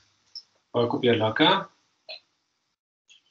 Vamos a ver si esto funciona. Entonces, Visualize Execution. Aquí está. Entonces aquí vamos a la derecha a visualizar la ejecución del código que está a la izquierda, que fue el código pues, que nosotros acabamos de copiar. Lo estoy agrandando para que ustedes lo vean bien. Entonces yo lo doy Next. Él ya importó NumPy. Entonces NumPy quedó con este nombre aquí disponible para nosotros. Luego vamos a definir esta derivada. Entonces aquí acá, acaba de decirnos el Python tutor que acabamos de definir dentro de, dentro de este global frame, dentro de nuestro programa, esa función de f derivada que recibe estos dos argumentos. Y ahora vamos a hacer esta instrucción. Vamos a decirle que nos diga que x y y cuánto vale. Entonces, miren, aquí lo que nos está diciendo el Python tutor es que acabamos de llamar a la función de esta manera. Miren, acabamos de llamar a la función con estos dos argumentos, el tiempo, el primer argumento vale 0.3, y acá le tuvimos que mandar una lista, porque recordemos que este y es una lista. Entonces no podemos mandarle un número, no podemos mandarle simplemente 2. Tenemos que mandarle una lista para que él pueda sacarle sus componentes. Entonces él le está diciendo, y es una lista que tiene en el primer elemento el 2 y en el segundo elemento el 4. Exactamente esto. Porque y ahora es vectorial. Le damos next entonces él ahora va a retornarnos este arreglo y se lo va a asignar a x y a y. Entonces él retornó esto, miren, cuando estamos acá en el retorno, él retornó 6 y 2. Y veamos si eso es verdad. A ver, menos y de 0, y de 0 es 2, y de 1 es 4, entonces sería menos 2 más 2 por 4, o sea, menos 2 más 8. Y eso nos daría 6, listo. Y el otro es y de 0, que es, menos, que es 2. Y listo, entonces él va a retornarnos 6,2. Y eso quiere decir que ahora x va a valer 6 y y va a valer 2. Next. Y ahí está, entonces ahora x vale 6 y y vale 2. Entonces con esto ustedes pueden también visualizar un poquito el código, cómo es que se está ejecutando y qué es lo que está haciendo. Simplemente para hacerles más énfasis en que y tiene que ser un vector y entonces cuando uno llame a la función, pues tiene que mandarle un, un vector también. Entonces volvamos, ¿dónde está? ¿Qué se me hizo? Aquí está. Entonces vamos a hacer este ejercicio. Este ejercicio es que ustedes entonces, como ya están en la base espacial de Tumaco, quieren lanzar un proyectil, quieren hacer una prueba con un cohete y quieren ver ese cohete que en ese momento pues no lleva ningún pasajero porque ese cohete se va a caer, quieren ver cómo es su trayectoria de ese cohete hasta que caiga pues en el Pacífico, ¿cierto? Y con eso pues tienen que, pueden calibrar más o menos hasta qué altura llega con este combustible y por ahora lo que van a hacer es ver qué tanto puede llevar ese cohete, entonces lo van a llenar, no sé, en, en que será lo que más hay. Bueno, lo van a llenar de troncos, de madera, lo que sea, o sea, quieren ver qué tanta carga tiene y hasta dónde sube. Entonces vamos a asumir que la gravedad es la única fuerza que actúa, pero como este cohete va a llegar bien alto, la gravedad ya no es constante. De hecho, ustedes saben que la aceleración de la gravedad aquí en Bogotá es un poquito diferente a la aceleración de la gravedad en Cartagena, al nivel del mar. Su masa es la misma, pero su peso es ligeramente menor en, en Bogotá, pero es muy poquito, son unos, ¿sí? su masa es la misma, ¿no? El peso que es una fuerza es diferente. Entonces, cuando uno lanza cosas muy, muy alto, pues eso depende de la altura, la fuerza depende de la altura, la fuerza de gravedad depende de qué tan cerca están los centros de mis cuerpos. Entonces realmente lo que uno encuentra es que la aceleración del cohete es igual como un valor inicial de la gravedad como al nivel del mar por R al cuadrado sobre R más X, donde R, R es el radio de la Tierra y X es la distancia de mi cohete respecto a la superficie. ¿Sí? Entonces ustedes pueden ver que a medida que X aumenta, pues esto disminuye o sea que la aceleración va siendo cada vez más pequeña a medida que me alejo de, la superficie de la Tierra, hasta que ya es despreciable y por esa razón pues uno ya llega a un momento en que se puede escapar de la Tierra. Entonces lo que queremos es ver simplemente cuál es la máxima altura que va a alcanzar este cohete si le damos una velocidad inicial de 1500 metros por segundo, que es, que es bastante, ¿no? 1500 metros por segundo es bastante velocidad inicial. Entonces, eso realmente es después de cierta etapa que vamos a hacer eso. Entonces vamos a hacer eso. Se le acaba el combustible al cohete en un punto en el que él va a tener 1500 metros por segundo y vamos a ver su máxima altura desde ese punto hasta que vuelve a caer a ese mismo, a ese mismo nivel. Entonces, ¿cómo haremos para resolver esto? Recordemos que aquí tenemos un, un, un problema y es que observen que esta es la derivada de la velocidad, pero aquí está la posición. Entonces tenemos realmente un problema acá porque esto es una ecuación, una ecuación que nos relaciona a dos variables, o sea, realmente deberíamos tener dos ecuaciones. Entonces lo que tenemos es dv de t igual, y lo voy a poner así, una función de x. Entonces yo podría decir, como la velocidad es la derivada de la posición, entonces realmente aquí lo que tengo es la segunda derivada de la posición respecto al cuadrado. Entonces tenemos el mismo problema que teníamos antes. ¿Se acuerdan que tenemos una ecuación de segundo orden? Pero todos nuestros sistemas esperan ecuaciones de primer orden. Entonces lo que tenemos que hacer es transformarlo. Y entonces vamos a definir lo siguiente. Vamos a decir, pues la velocidad de x de t es la velocidad y la derivada de la velocidad, que la tenemos, de v de t, pues es esa función de x. O sea que ya pudimos transformar este problema que relaciona la segunda derivada de x con una cosa rara. Ya lo podemos transformar en dos ecuaciones, estas dos, de primer orden. Ya lo podemos transformar en eso. Entonces nuestra función de derivadas tiene que retornar exactamente esto. ¿Listo? La primera componente se supone que es la derivada de la primera variable que es x. O sea que nuestra función de derivadas debe retornar v. Entonces, si nosotros definimos que nuestro vector, voy a hacerlo acá, si nuestro vector y tiene como primera componente a x y tiene como primera componente a la velocidad, esto quiere decir entonces que y' implica que la primera componente pues es la primera derivada de x y la segunda componente es la primera derivada de b. Esta es la primera derivada de x, esta es la, primera derivada de y. Entonces, nuestra función f de derivadas de t, y, el primer elemento que debe retornar es la derivada de x. ¿Qué, ¿Qué sería? La derivada de x, ¿qué es? Pues la velocidad, que es la segunda componente de y. Entonces, por eso retornamos y de 1. Esta es la velocidad. Y luego, la segunda componente que debe retornar nuestra función de derivadas sería la derivada de la velocidad. ¿La derivada de la velocidad qué es? Pues toda esta función que nos dieron acá. ¿Sí? Esa función menos g por r al cuadrado sobre r más y de 0, y de 0 es x, por x al cuadrado. Si ustedes quieren ver eso más claro, yo puedo hacer lo siguiente, para que quede más claro. Yo puedo decir, voy a descomponer este vector y en velocidad, en x, perdón, y en velocidad. Esto va a ser mi vector y. Entonces, no sé si ustedes, de pronto, uy, espera, no sé si ustedes consideran que, que, esta segunda manera de escribir las cosas es más clara. Vamos a ver si ustedes, ¿de qué me dicen ustedes? Yo podría reescribir este return más bien así, que la primera derivada de la, de la posición es la velocidad y que la derivada de la velocidad pues es esto, que es esta misma ecuación. ¿Cómo lo ven más claro? ¿De esta primera forma o de la segunda forma?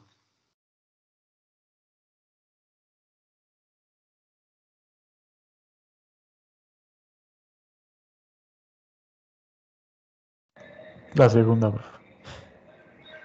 Bueno. Entonces, recordemos, me parece más claro, es subjetivo porque es una opinión. Y la segunda me parece más clara porque queda explícito que aquí estamos retornando la derivada de x y aquí estamos retornando la derivada de la velocidad. Entonces queda como más claro, la derivada de x pues es la velocidad, la derivada de la velocidad pues fue lo que nos dijeron aquí literalmente al principio. Entonces ya quedó nuestra función de derivadas, que es lo más importante de todo. Luego yo estoy definiendo como unas constantes, g, la gravedad, el radio de la Tierra, y este es el dt. ¿Por qué puse ese dt? No sé, lo puse así y podemos ahorita irlo cambiando para ver qué tan bueno es. Luego defino el rango de tiempo que quiero estudiar, de 0 a 200. Todavía yo no sé si 200 es suficiente, y luego ponemos nuestras condiciones iniciales. Entonces miren que las condiciones iniciales es que x empieza en 0. Esa es la condición inicial, x empieza en 0. Y la velocidad inicial fue la que nos dieron, 1500. Entonces tenemos esas dos cosas. Y luego pedimos la solución, como siempre. Entonces, ¿qué diferencia hay con lo que hemos hecho antes? A ver, le estamos mandando la derivada, le estamos mandando eh, el tiempo entre qué y qué. Entonces, para yo no estar escribiendo lo mismo, le estoy diciendo que el tiempo va a empezar en este tiempo mínimo, en el mínimo de esta lista, y el tiempo máximo pues va a ser el tiempo máximo de esta lista, así no tengo que estar escribiendo lo mismo varias veces. Que evalúe el tiempo pues en este tiempo que yo quiero que lo evalúe, y que la condición inicial pues es esta y sub 0. Entonces, digamos que de hecho no cambió absolutamente nada. Yo resuelvo mi sistema y luego lo dibujo. Y si lo dibujamos, observen que al dibujarlo ustedes pueden encontrar pues que hay un valor máximo de altura que, se, que ocurre más o menos a los 150 segundos que empieza nuestro sistema a evolucionar. Y si ustedes quieren sacar ese valor máximo, ustedes simplemente le dicen, oiga, la solución y igual 0, deme por favor el máximo a esa solución y igual 0, que esta es la posición. Ahora tenemos dos soluciones, ¿no? Tenemos y de 0, eso es la altura, o el x que estamos llamando nosotros, y y de 1, ¿qué será? ¿Qué dicen ustedes que es y de 1?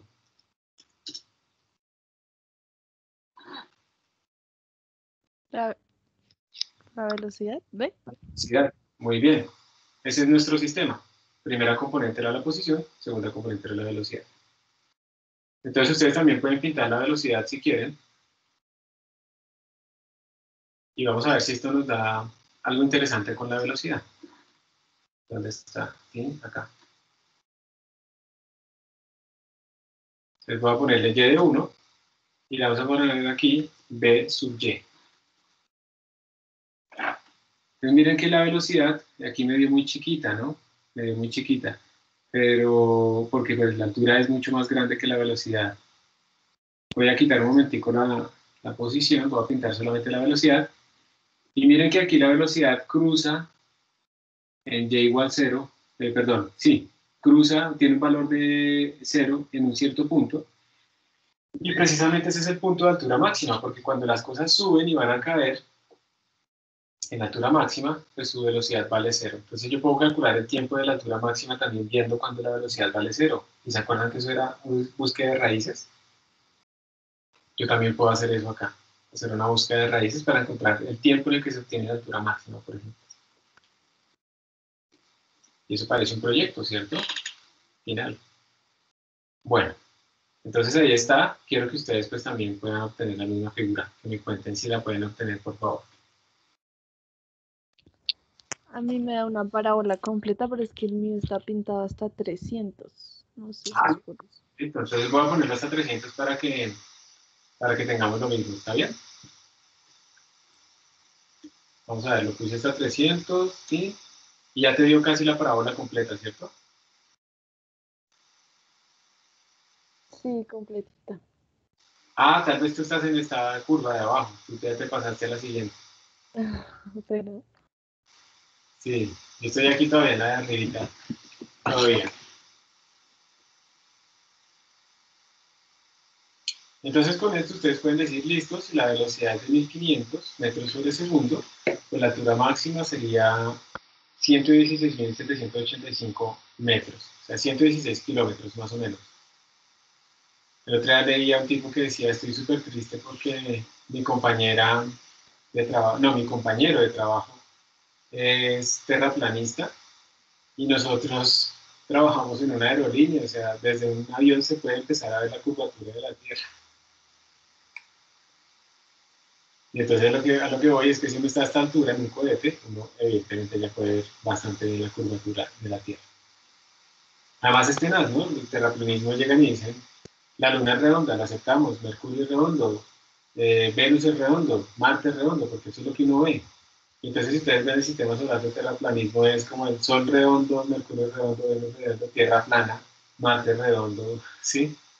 Todo es redondo excepto la Tierra. ¿Por qué? Entonces es también un, un terracentrismo, ¿no? Y también eso tiene que ver con otro tipo de concepciones por allá profundas, erróneas.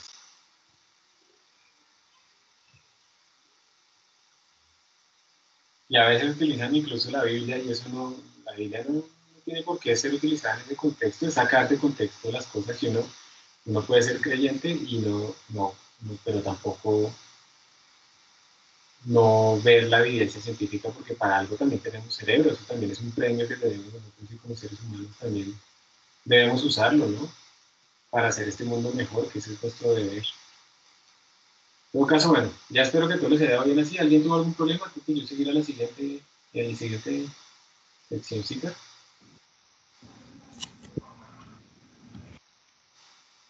Sin problema, profe. Eh, profe, una pregunta. Señor. Para el caso, perdón, o sea, en el código para realizar eh, la solución del sistema, el y sub 0, que es un arreglo de valores, eh, pues bueno, es la posición inicial. Pero ahí estás poniendo como un arreglo de valores de 0 a 1500. O sea, yo, pues no sé, Es una lista, mira, es una lista que tiene solamente dos componentes. La primera componente es la posición inicial y la segunda componente es la velocidad inicial, porque recuerda que nuestro sistema ahora resuelve para posición y para velocidad. Tenemos dos variables. Ah, ok, vale, sí, es que lo había entendido como un arreglo, como, pero de varios valores. De pronto nos de arriba, sí, pero no, son solo dos variables. Posición inicial, velocidad inicial.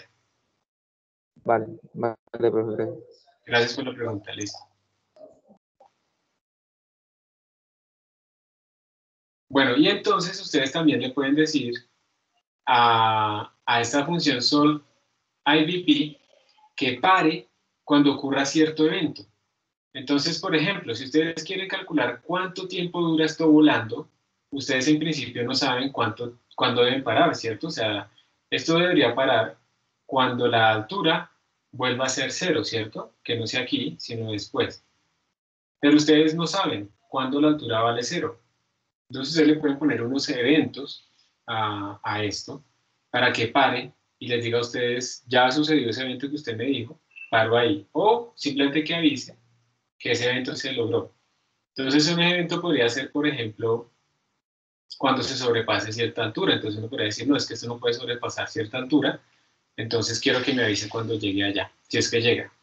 O si queremos calcular el tiempo total de vuelo, entonces uno podría ponerle que haga un tiempo gigantescamente largo, o sea, uno ponerle de 0 a 10.000, pero decirle que pare cuando la altura se vuelva a cero.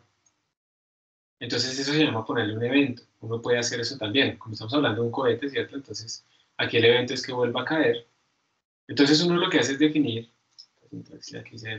uno lo que hace es definir una función que represente el evento, ¿sí? Que represente el evento. Y lo que se busca es cuando esa función vale cero. Entonces, si yo quiero ver cuando esto tenga una altura, cuando la altura sea, por ejemplo, mil metros, entonces yo pondría esto menos mil, eso es lo que retorna mi función, y lo que va a hacer SciPy es estar verificando cuando esto vale cero.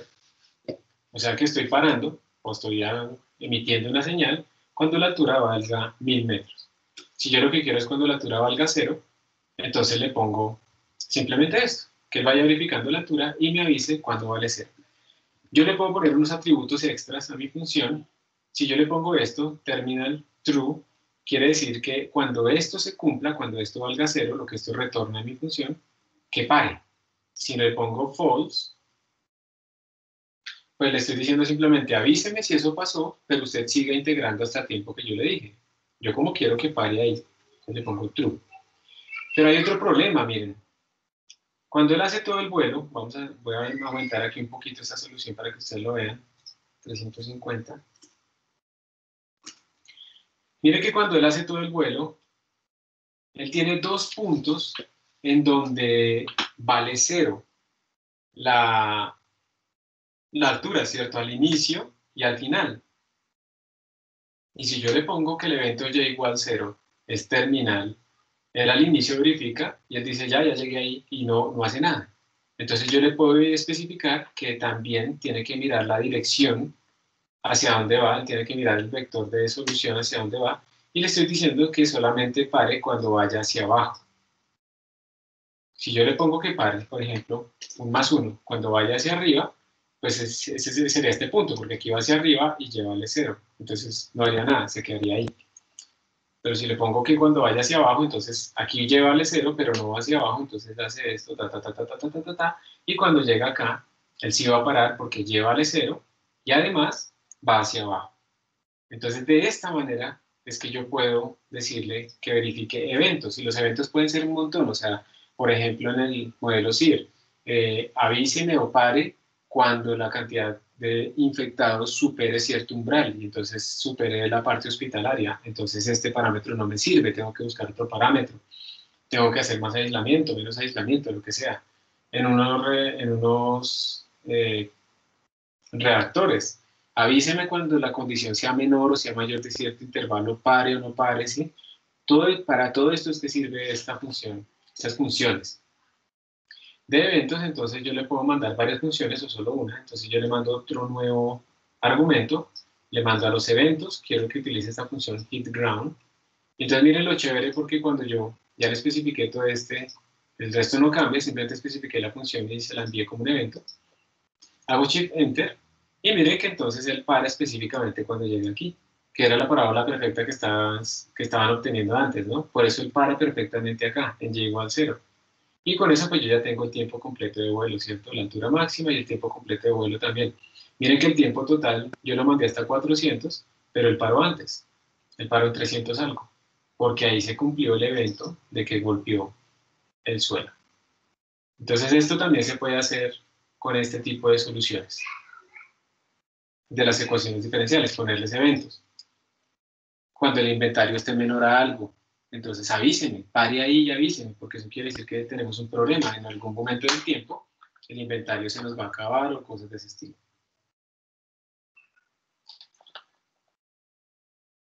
Perdón que tengo que tomar agua.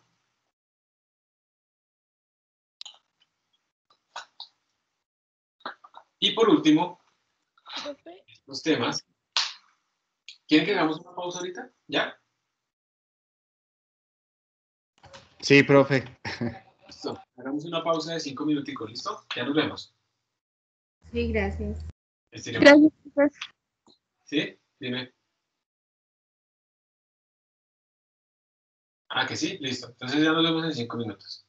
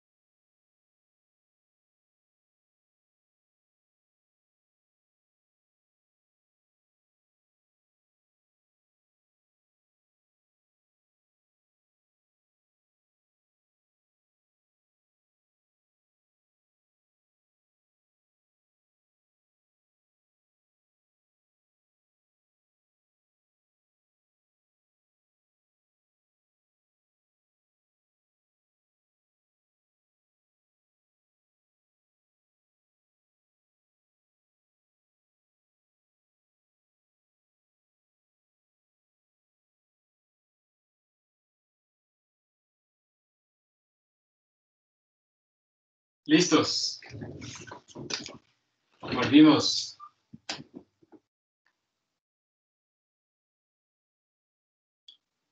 ¿Están ahí? Sí, señor. Sí, profe. Sí, señor.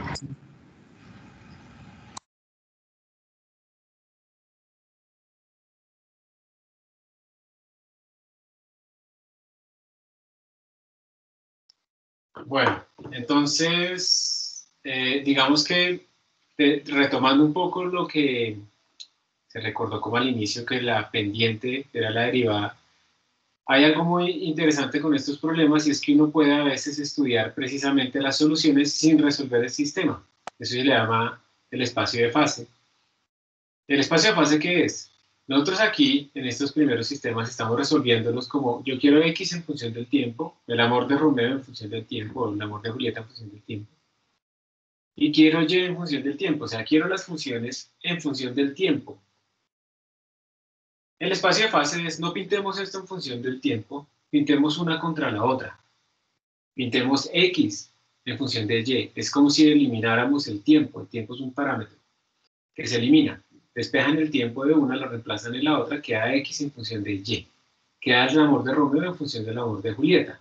¿Sí? Entonces, si uno tuviera, por ejemplo,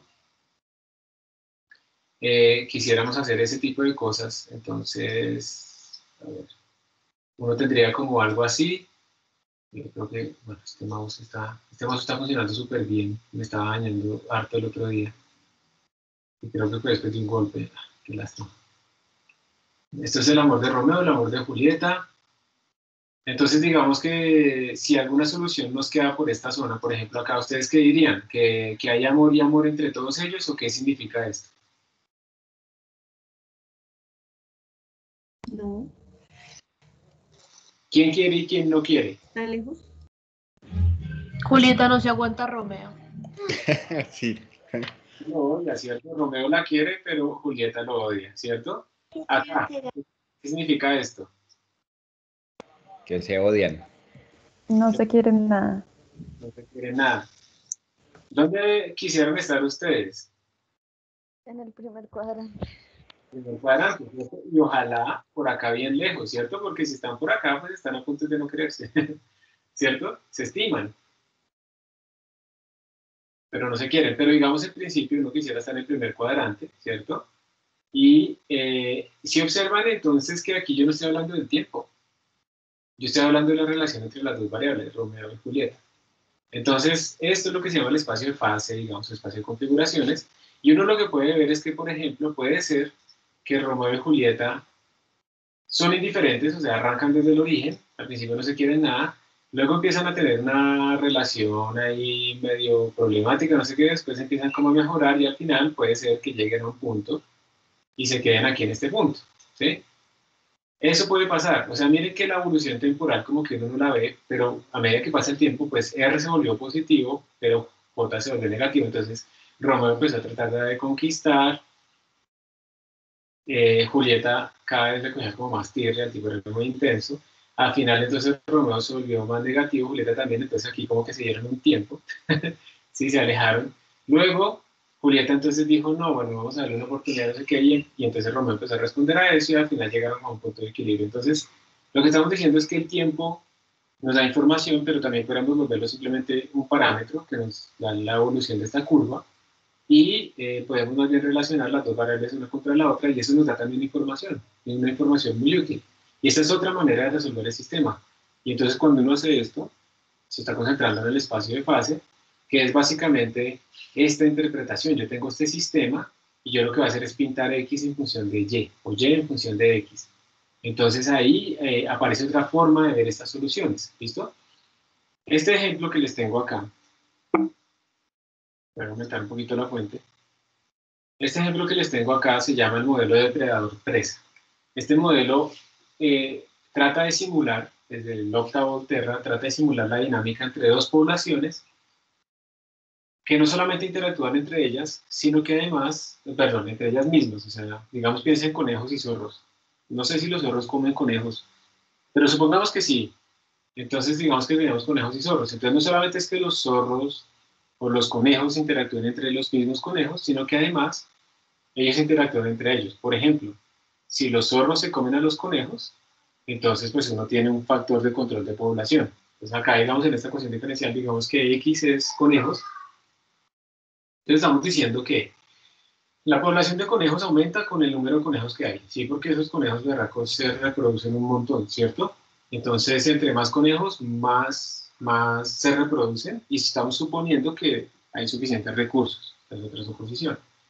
Pero va a disminuir en, en, términos de los encuentros que haya entre, entre zorros y conejos. Entonces, entre más zorros hay y más zorros se encuentren conejos, pues esta población va a disminuir. Entonces, los, por eso se llama depredador presa, un depredador que se come las presas. Ahora, ¿cómo varía la población de los zorros? Entonces, la población de los zorros disminuye entre ellos. ¿Y por qué? Porque aunque los zorros se reproducen, sí, es verdad, eh, hay una gran competencia entre los zorros. Entonces, eh, los zorros son muy territoriales, se pelean entre ellos y además un zorro consume muchos conejos y entonces los recursos para ellos son más escasos. Entonces para ellos es desfavorable tener muchos zorros. Y por esa razón no es favorable como en el caso de los conejos, sino que además que son más pequeños. ¿no? Entonces entre más zorros haya, menos, digamos, su, su población se va a ver afectada y va a disminuir. Pero la población de zorros pues va a aumentar entre más conejos haya. Entonces entre más conejos se encuentren los zorros, más va a aumentar su población. Y, pues uno puede jugar aquí con todos estos parámetros para, para ver con la dinámica del sistema. Entonces les voy a mostrar para unos parámetros específicos cómo es esta dinámica con unas ciertas condiciones iniciales. Las condiciones iniciales es que solamente hay dos zorros, dos conejos, perdón, y un zorro, o una zorra, eh, no sé. Y, ¿Y qué? y vamos a evolucionarlo entre 0 y 50 y pues con este paso de tiempo. Entonces yo aquí simplemente estoy definiendo esas constantes del sistema, las variables iniciales, el tiempo inicial y final, el dt. Mi función de derivada pues lo que hace es retornar este sistema, entonces miren que la primera parte es la derivada de los conejos, entonces sería a por x, a por y0, menos b por xy, menos b por xy, y la segunda derivada, coma, sería pues la, la segunda componente, que sería la derivada de los zorros, de la población de los zorros menos c por, por y más d por xy más d por xy. Entonces ahí está todo. Lo resolvemos de una llamando entonces a nuestra función solve by vp la derivada, el tiempo en donde evaluar y las condiciones iniciales. Y luego pintamos. Entonces aquí estoy pintando los zorros y los conejos, el depredador y la presa. Y esto es lo que nos da la voy a dar Enter entonces aquí ustedes pueden ver la evolución. Entonces aquí en la gráfica de la izquierda, ustedes observan la gráfica de, en función del tiempo, tanto de la población del depredador como de la población de la presa. Voy a agrandar un poquito esta figura, voy a hacerla un poquito más ancha, más larga, para que la podamos estudiar un poquitín mejor. Voy a hacerlo un tricito más ancho todavía. Para que sea mejor. Entonces miren, esta es nuestra solución. Ustedes pueden ver que es un sistema como oscilatorio. Observen, por ejemplo, que la presa arrancó en 2, disminuyó, y pues aquí uno diría, ¿cómo así que quedan 0.8 conejos? ¿Cierto? Entonces puede ser más bien que ese 2 no es el número de conejos, sino son dos unidades, digamos son dos decenas de conejos. ¿sí? Las unidades de población son decenas. Entonces, a ver, como tenemos un, un depredador arrancó en 4, esa era la condición inicial, está mal, ¿no? Porque aquí el depredador debe empezar en 1, ¿no? Vamos a ponerle en 1. Entonces, ya, nuestro depredador, nuestra presa arrancó en 2 y como hay tan poquitos depredadores, pues una unidad de depredadores, entonces de hecho la población de depredadores bajó un momentico y rápidamente nuestros conejos se reprodujeron un montón. Pero llega un momento en que como empieza a aumentar el número de depredadores, se empiezan a comer a todos nuestros conejos entonces llega un momento en que la población de conejos deja de aumentar y empieza a disminuir. Como la población de conejos empieza a disminuir, empieza a escasear la comida, entonces nuestros predadores no tienen suficiente comida, se empiezan a morir. Y como se empiezan a morir los depredadores, entonces empiezan a reproducirse más los conejos, entonces empiezan a aparecer más. Entonces los depredadores empiezan a comer más y empiezan a aparecer más, más, más, más, hasta que llega un momento en que eh, se comen tanto que empiezan a disminuir la población de conejos y entonces empiezan a competir también los depredadores entre ellos y hay menos comida, entonces vuelve a bajar y se genera este sistema oscilatorio. Eso es lo que significa esto. Pero ahora si yo hago la gráfica, no de depredadores y presas en función del tiempo, sino de depredador en función de la presa, yo obtengo esta curva rara, miren. Esta es una curva que yo no me esperaba, entonces aquí tengo la presa, aquí tengo el depredador, y esta curva, a medida que yo recorro en el tiempo, esta curva se está recorriendo, ¿sí? De cierta manera, se está recorriendo, se está recorriendo de cierta manera. Y esto lo que quiere decir es que nuestro sistema está acotado en esta zona, y si yo me arranco desde un punto dado, entonces yo lo que voy a obtener es que esto, esto significa lo mismo, miren, entonces esto lo que quiere decir es, si aumenta, por ejemplo, la cantidad de, de, ¿de qué? De presas, hagámoslo así, digamos en esta zona. A ver, ¿dónde está la condición inicial? La condición inicial era 1,2, no, perdón, 2,1. La condición inicial es 2,1, arrancamos de acá. Y miren que lo que nos está diciendo la evolución es que las presas empiezan a aumentar. Y localmente nuestros, nuestros, ¿qué? nuestros depredadores empiezan a disminuir, entonces arrancó en esa dirección. Entonces aquí arrancamos en este punto 2,1 y él hace esto, empiezan a aumentar las presas, pero disminuye localmente el eje Y, que son los depredadores. Luego siguen aumentando las presas y empiezan a aumentar los depredadores, pero como aumentan los depredadores, entonces el crecimiento de nuestras presas se estabiliza hasta que llega un máximo. Luego nuestras presas empiezan a disminuir, los depredadores siguieron aumentando, pero llega un momento en que tan poquitas presas por acá y hay tanta competencia entre ellos que la población de depredadores empieza a disminuir al mismo tiempo que disminuye la de presas. Pero como empieza a disminuir la población de depredadores, entonces la de presas empieza a aumentar y vuelve a dar este ciclo. Y este es como el espacio de fase de nuestro sistema. Y esto nos está dando como más información. Y además, este atractor, esto es un atractor, esto es una zona en donde van a estar, ah, va a estar acotado nuestro sistema. Este tractor, pues digamos, tiene toda la dinámica del sistema metida. Entonces esto es como una visión geométrica de nuestro, nuestra evolución del sistema. Y para darles otro ejemplo, es el clima. Entonces Lorenz, un señor de apellido Lorenz, él trató de modelar el clima, esto no recuerdo bien si fue hacia los años 60 o algo así, y él entonces dijo, digamos que, digamos que ustedes tienen como la presión, la humedad y la dirección del viento, una vaina así, para modelar el clima. Entonces él encontró pues este sistema no lineal, es muy importante que los sistemas no son lineales, encontró el sistema no lineal para modelar el clima, sistema no lineal, acoplado, y entonces él trató de resolver ese sistema en el computador porque no se puede hacer analíticamente, y él encontraba que con un pequeñito error que metiera en la condición inicial le daba una solución completamente diferente. Y él sin darse cuenta había encontrado un sistema caótico. ¿sí? Esto era un sistema caótico. Entonces, bueno, vamos a mostrarles a ustedes cómo es la solución de este sistema. Le voy a poner unos valores a igual a 10 y unas cosas ahí, bueno, unos parámetros y unas condiciones iniciales. Entonces, de nuevo, ponemos nuestros parámetros al inicio. Nuestra función de derivada ahora tiene tres componentes. Retorna todas estas tres cosas. retorna las tres componentes. Y yo la estoy resolviendo, quiero que ustedes vean, estoy resolviendo, tengo dos soluciones. Estoy resolviendo la normal, esta es la solución normal. La solución 2 es la misma solución, pero simplemente estoy modificando la condición inicial en X un poquitico, ¿sí ven? Solamente en X, ni siquiera la modifico en Y y en Z. Porque yo quiero comparar esas dos soluciones, que esto era lo que, lo que obtenía Lorenz.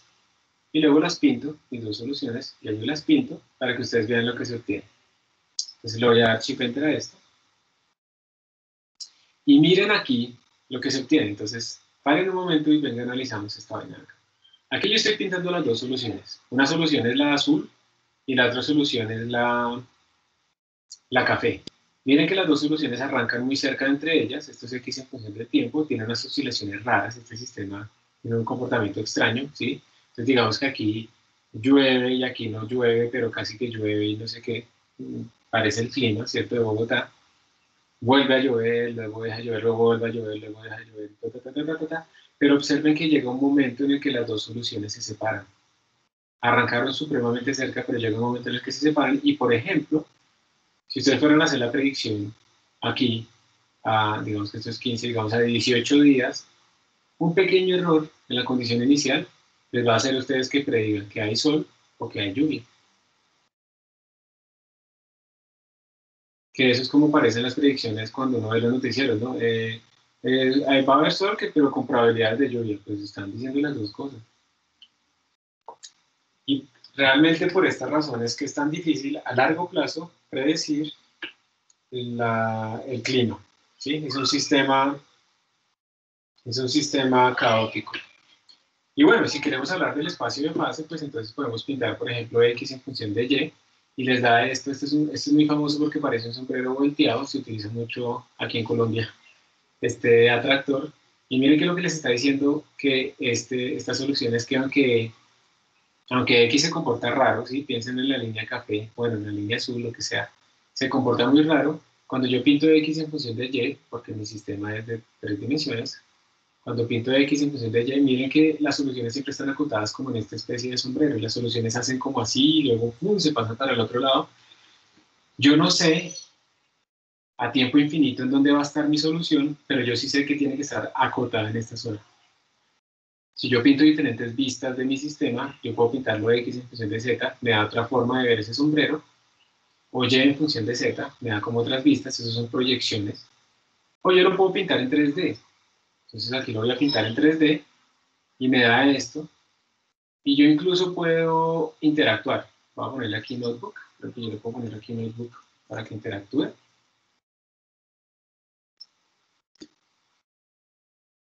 Nah, se no quiso. Pero para los que usted, yo, yo no creo que esto le funcione a, a los que están utilizando esto es un computador, pero para los que están utilizando MyBander sí. Les quiero mostrar que cuando uno le hace shift enter a esta parte, eh, esta celda me produce esta figurita. Quiero que la vean. Es el atractor en tres dimensiones. Lo voy a alejar un poquito para que lo vean. Ahí están las tres dimensiones. Como pueden ver, pues lo que veíamos antes eran proyecciones de ese atractor en tres dimensiones. Y pues, como les digo, digamos, este es un sistema caótico, yo no sé exactamente el clima en qué zona va a estar, pero yo sí sé, es decir, yo no les puedo decir a ustedes en tres semanas va a estar aquí. Pero yo solo que sí sé es que el clima no se va a salir nunca de esta zona, de este atractor que, bueno, es un atractor extraño porque uno le mide la, dimensión fractal a esto, o sea, esto no tiene dimensión 2 o dimensión 3, tiene dimensión fraccionaria, 2.5 y cosas así, por eso le llama un fractal. Y, y bueno, mi sistema está atrapado ahí y, y a esto es, digamos, lo que uno tiene cuando estudia ese espacio de fase. Entonces, ese espacio de fase es algo muy útil cuando uno tiene sistemas complicados y uno quiere ver qué es lo que está pasando realmente aquí adentro. ¿A alguien le funcionó esta figura en 3D?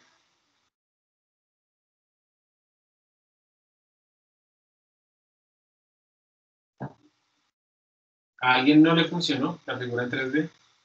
A mí, pues a mí no me funciona. A mí tampoco. A mí tampoco. ¿La quieren ver? Hagamos lo siguiente. Me voy a parar acá, le voy a decir insert cell above y voy a poner este comando. Conda install ipy volume.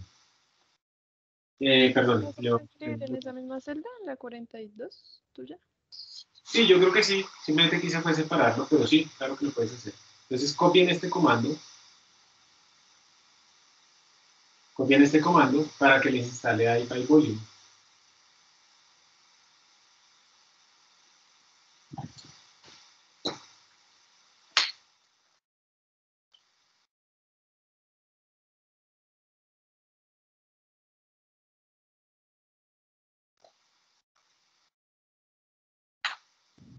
Profe, a mí me bota un error.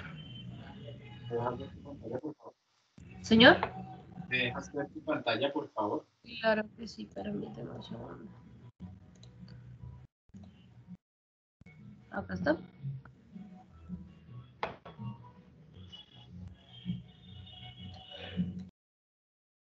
Conda install menos yeah, volume dice package not found ipy volume De- eh, puedes aumentarlo un poquito para ver si lo estás si lo escribiste bien ah no Ah, bueno, la vez pasada teníamos un truco, ¿no? Menos C conda Porsche, algo así. Menos C conda Porsche. Prueba con esto, poniéndole, yo no me acuerdo si se le pone ahí. Menos C conda Porsche. A ver si con eso te funciona. Eso es para especificarle qué repositorio sacarlo.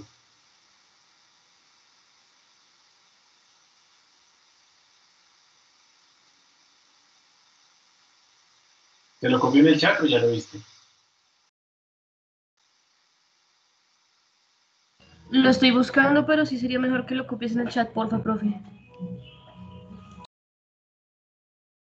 ¿Dónde está el chat?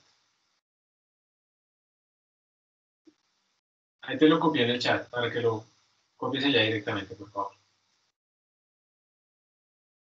Así es, profe. Un gusto, pero vamos a ver si funciona.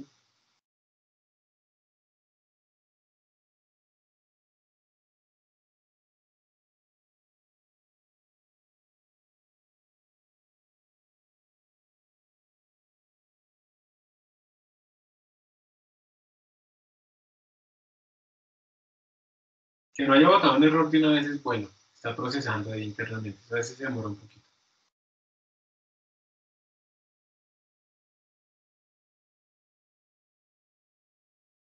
Listo, ahí ya está instalándolo.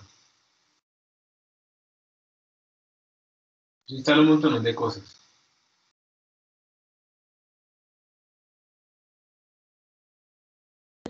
Pero ya con el hecho de que aparezca aquí este botoncito en blanco significa pues que ya terminó, ¿cierto? Ah, sí, señora, yo creo que sí. Pues déjame ver, déjame ver eso que está instalando supuestamente. Déjame ver la celda, a ver si tiene un asterisco. Sí. O sea, vuelve al notebook.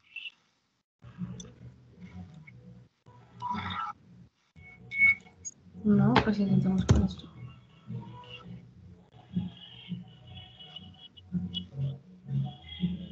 Hmm. Dale chip. enter. Ah, ahora está haciendo algo allá abajo. sí. Me puse a correr esta parte, pero no, no sé. Duró un momento cargando, pero ya no sale. Vuélvele a dar, por favor, otra vez, chip enter a esa celda. Acabo de hacerlo y sigue ahí como loquito. No sé si de pronto para el kernel tal vez. ¿A alguien ya le salió la figura en 3D o no? ¿A ¿Alguien más? No. Profe. No, me sale igual. Eh, como si no hiciera nada, ¿no? Porque, o sea, no está botando error, pero tampoco está botando nada. Ah, no, ya sé, ya sé, ya sé. No.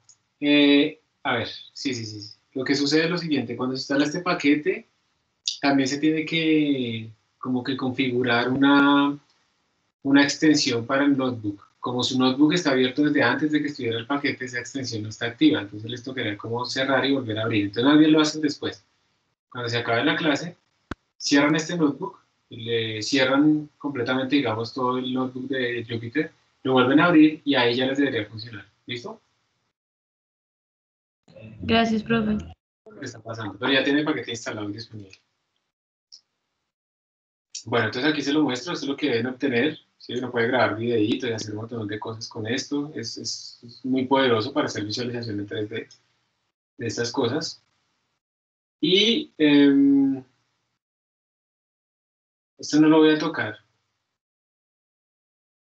Bueno, les voy a contar más o menos por encima qué es lo que significa esto. Profe, no Profe, estamos viendo creo la que no. pantalla. ¿Qué qué? Mi, La pantalla. Sí, la pantalla, gracias. Entonces lo único que me queda como por contarles, porque no vamos a hacer mucho de esto, es lo siguiente. Y es que ustedes a veces pueden linealizar el sistema, pueden como quedarse solamente en la parte en que el sistema es lineal. ¿Se acuerdan de Romeo y Julieta? Entonces aquí tenemos como el A por X más B por Y, CX más DY, ¿sí? Y esto se puede representar como una matriz. Entonces tenemos como que la derivada es una matriz por mi vector original. Y como esto es una matriz, pues ahí tienen que aparecer cosas interesantes respecto a las matrices. Y una cosa interesante es, por ejemplo, los valores propios y los vectores propios de esta matriz. Cuando uno estudia eso, les quiero mostrar que para este sistema, con unos valores de A, B y C que yo puse al azar ahí, yo obtengo esta figura. Esta figura lo que les está mostrando a ustedes es las soluciones, cómo se comportan para muchas condiciones iniciales. Estas líneas rojas que ustedes ven acá son precisamente las direcciones de los valores propios de estas matrices. ¿Y para qué sirven? Pues observen que los comportamientos de nuestro sistema como que están divididos en zonas que están precisamente delimitadas por esos valores propios de nuestra matriz lineal que describe el sistema. Esto, por ejemplo, lo que quiere decir es que si ustedes arrancan, por, e- por ejemplo, acá, en esta solución, en esta condición inicial, la solución en el espacio de fase va a ser esto, se va a acercar un poco, pero se va a ir por allá, o sea, eso no es estable.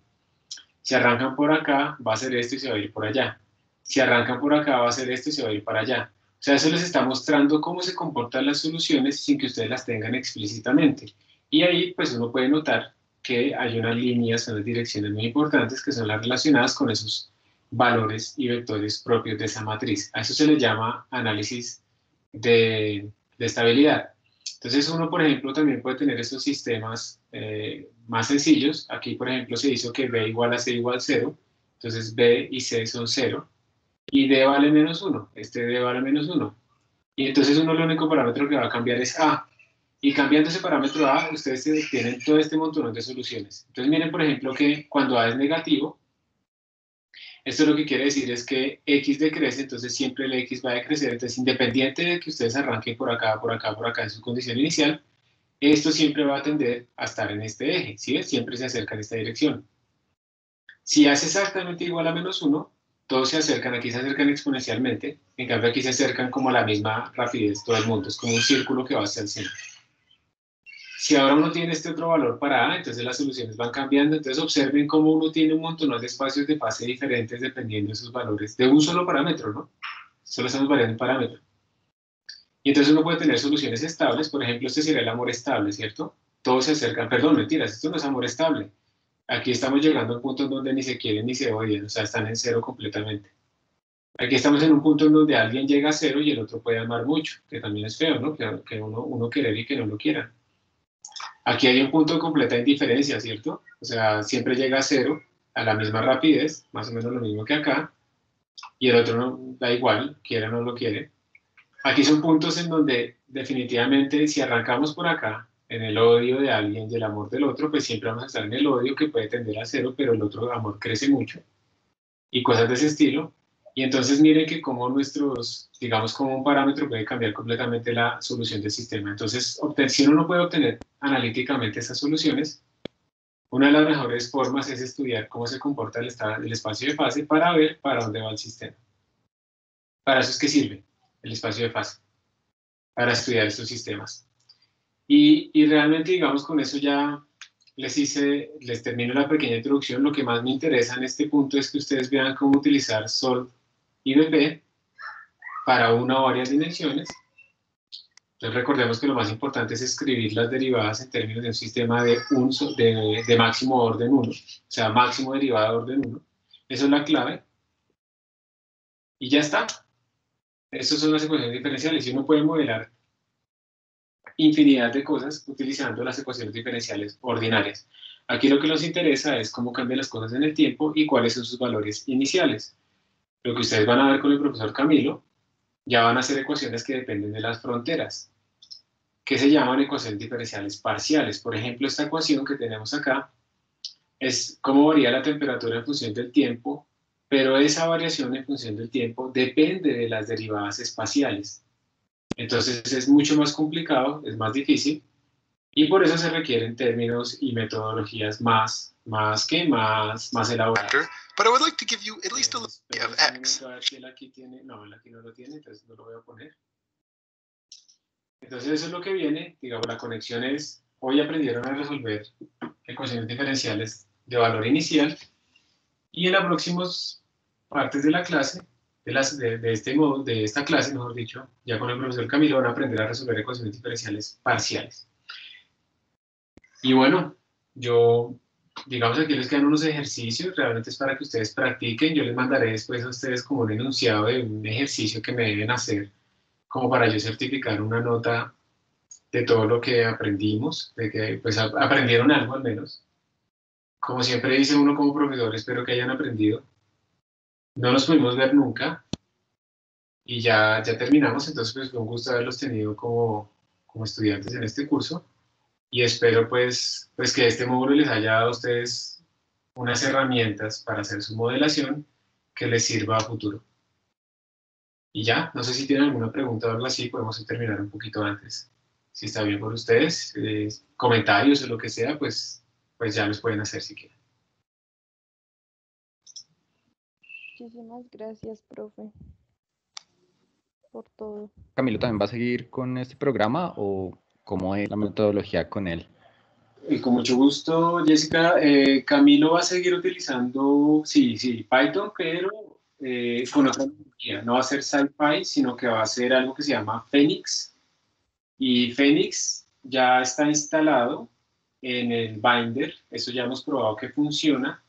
Pero, pero yo no sé si les funciona a ustedes. De hecho, si quieren, ustedes hagan el ensayo de, pongamos, voy a meter por aquí en cualquier sitio una celda y sería como que hagan el ensayo de instalar Phoenix, conda install menos y Phoenix menos conda Porsche. Se los voy a copiar en el chat para que ojalá lo tengan listo la próxima clase. Yo ya probé que las cosas que va a hacer el profe Camilo funcionan en Binder, entonces por defecto tengan abierto Binder para la próxima clase pero, pero también tenga abierto el suyo local, porque si le funciona el suyo local, pues es mejor, ¿no?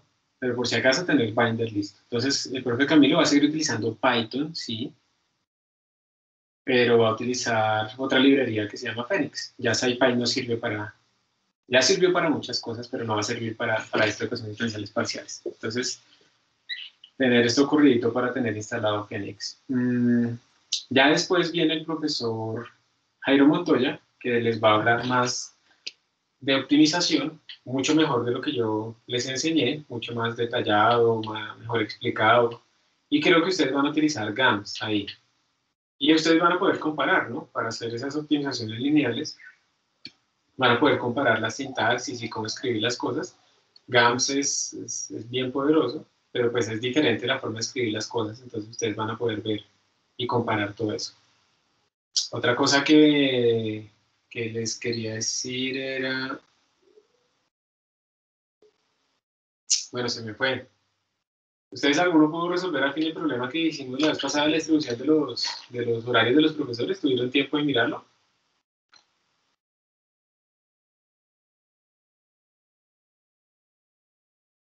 Eh, profe, pues, o sea, yo lo intenté, pero al correr el código no, pues bueno, no, no salió, me salió por un error.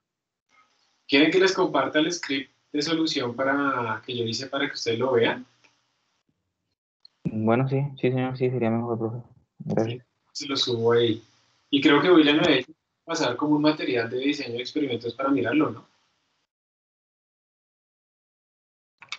Sí, sí, señor. Pero bueno, cuando puedas, te lo pasas, y si no, pues no pasa nada tampoco. Entonces estén pendientes que yo espero mandarles pronto ese material de, de, digamos, como para certificar una nota de esto. Y, y ya, nada más, no sé si tienen otra pregunta.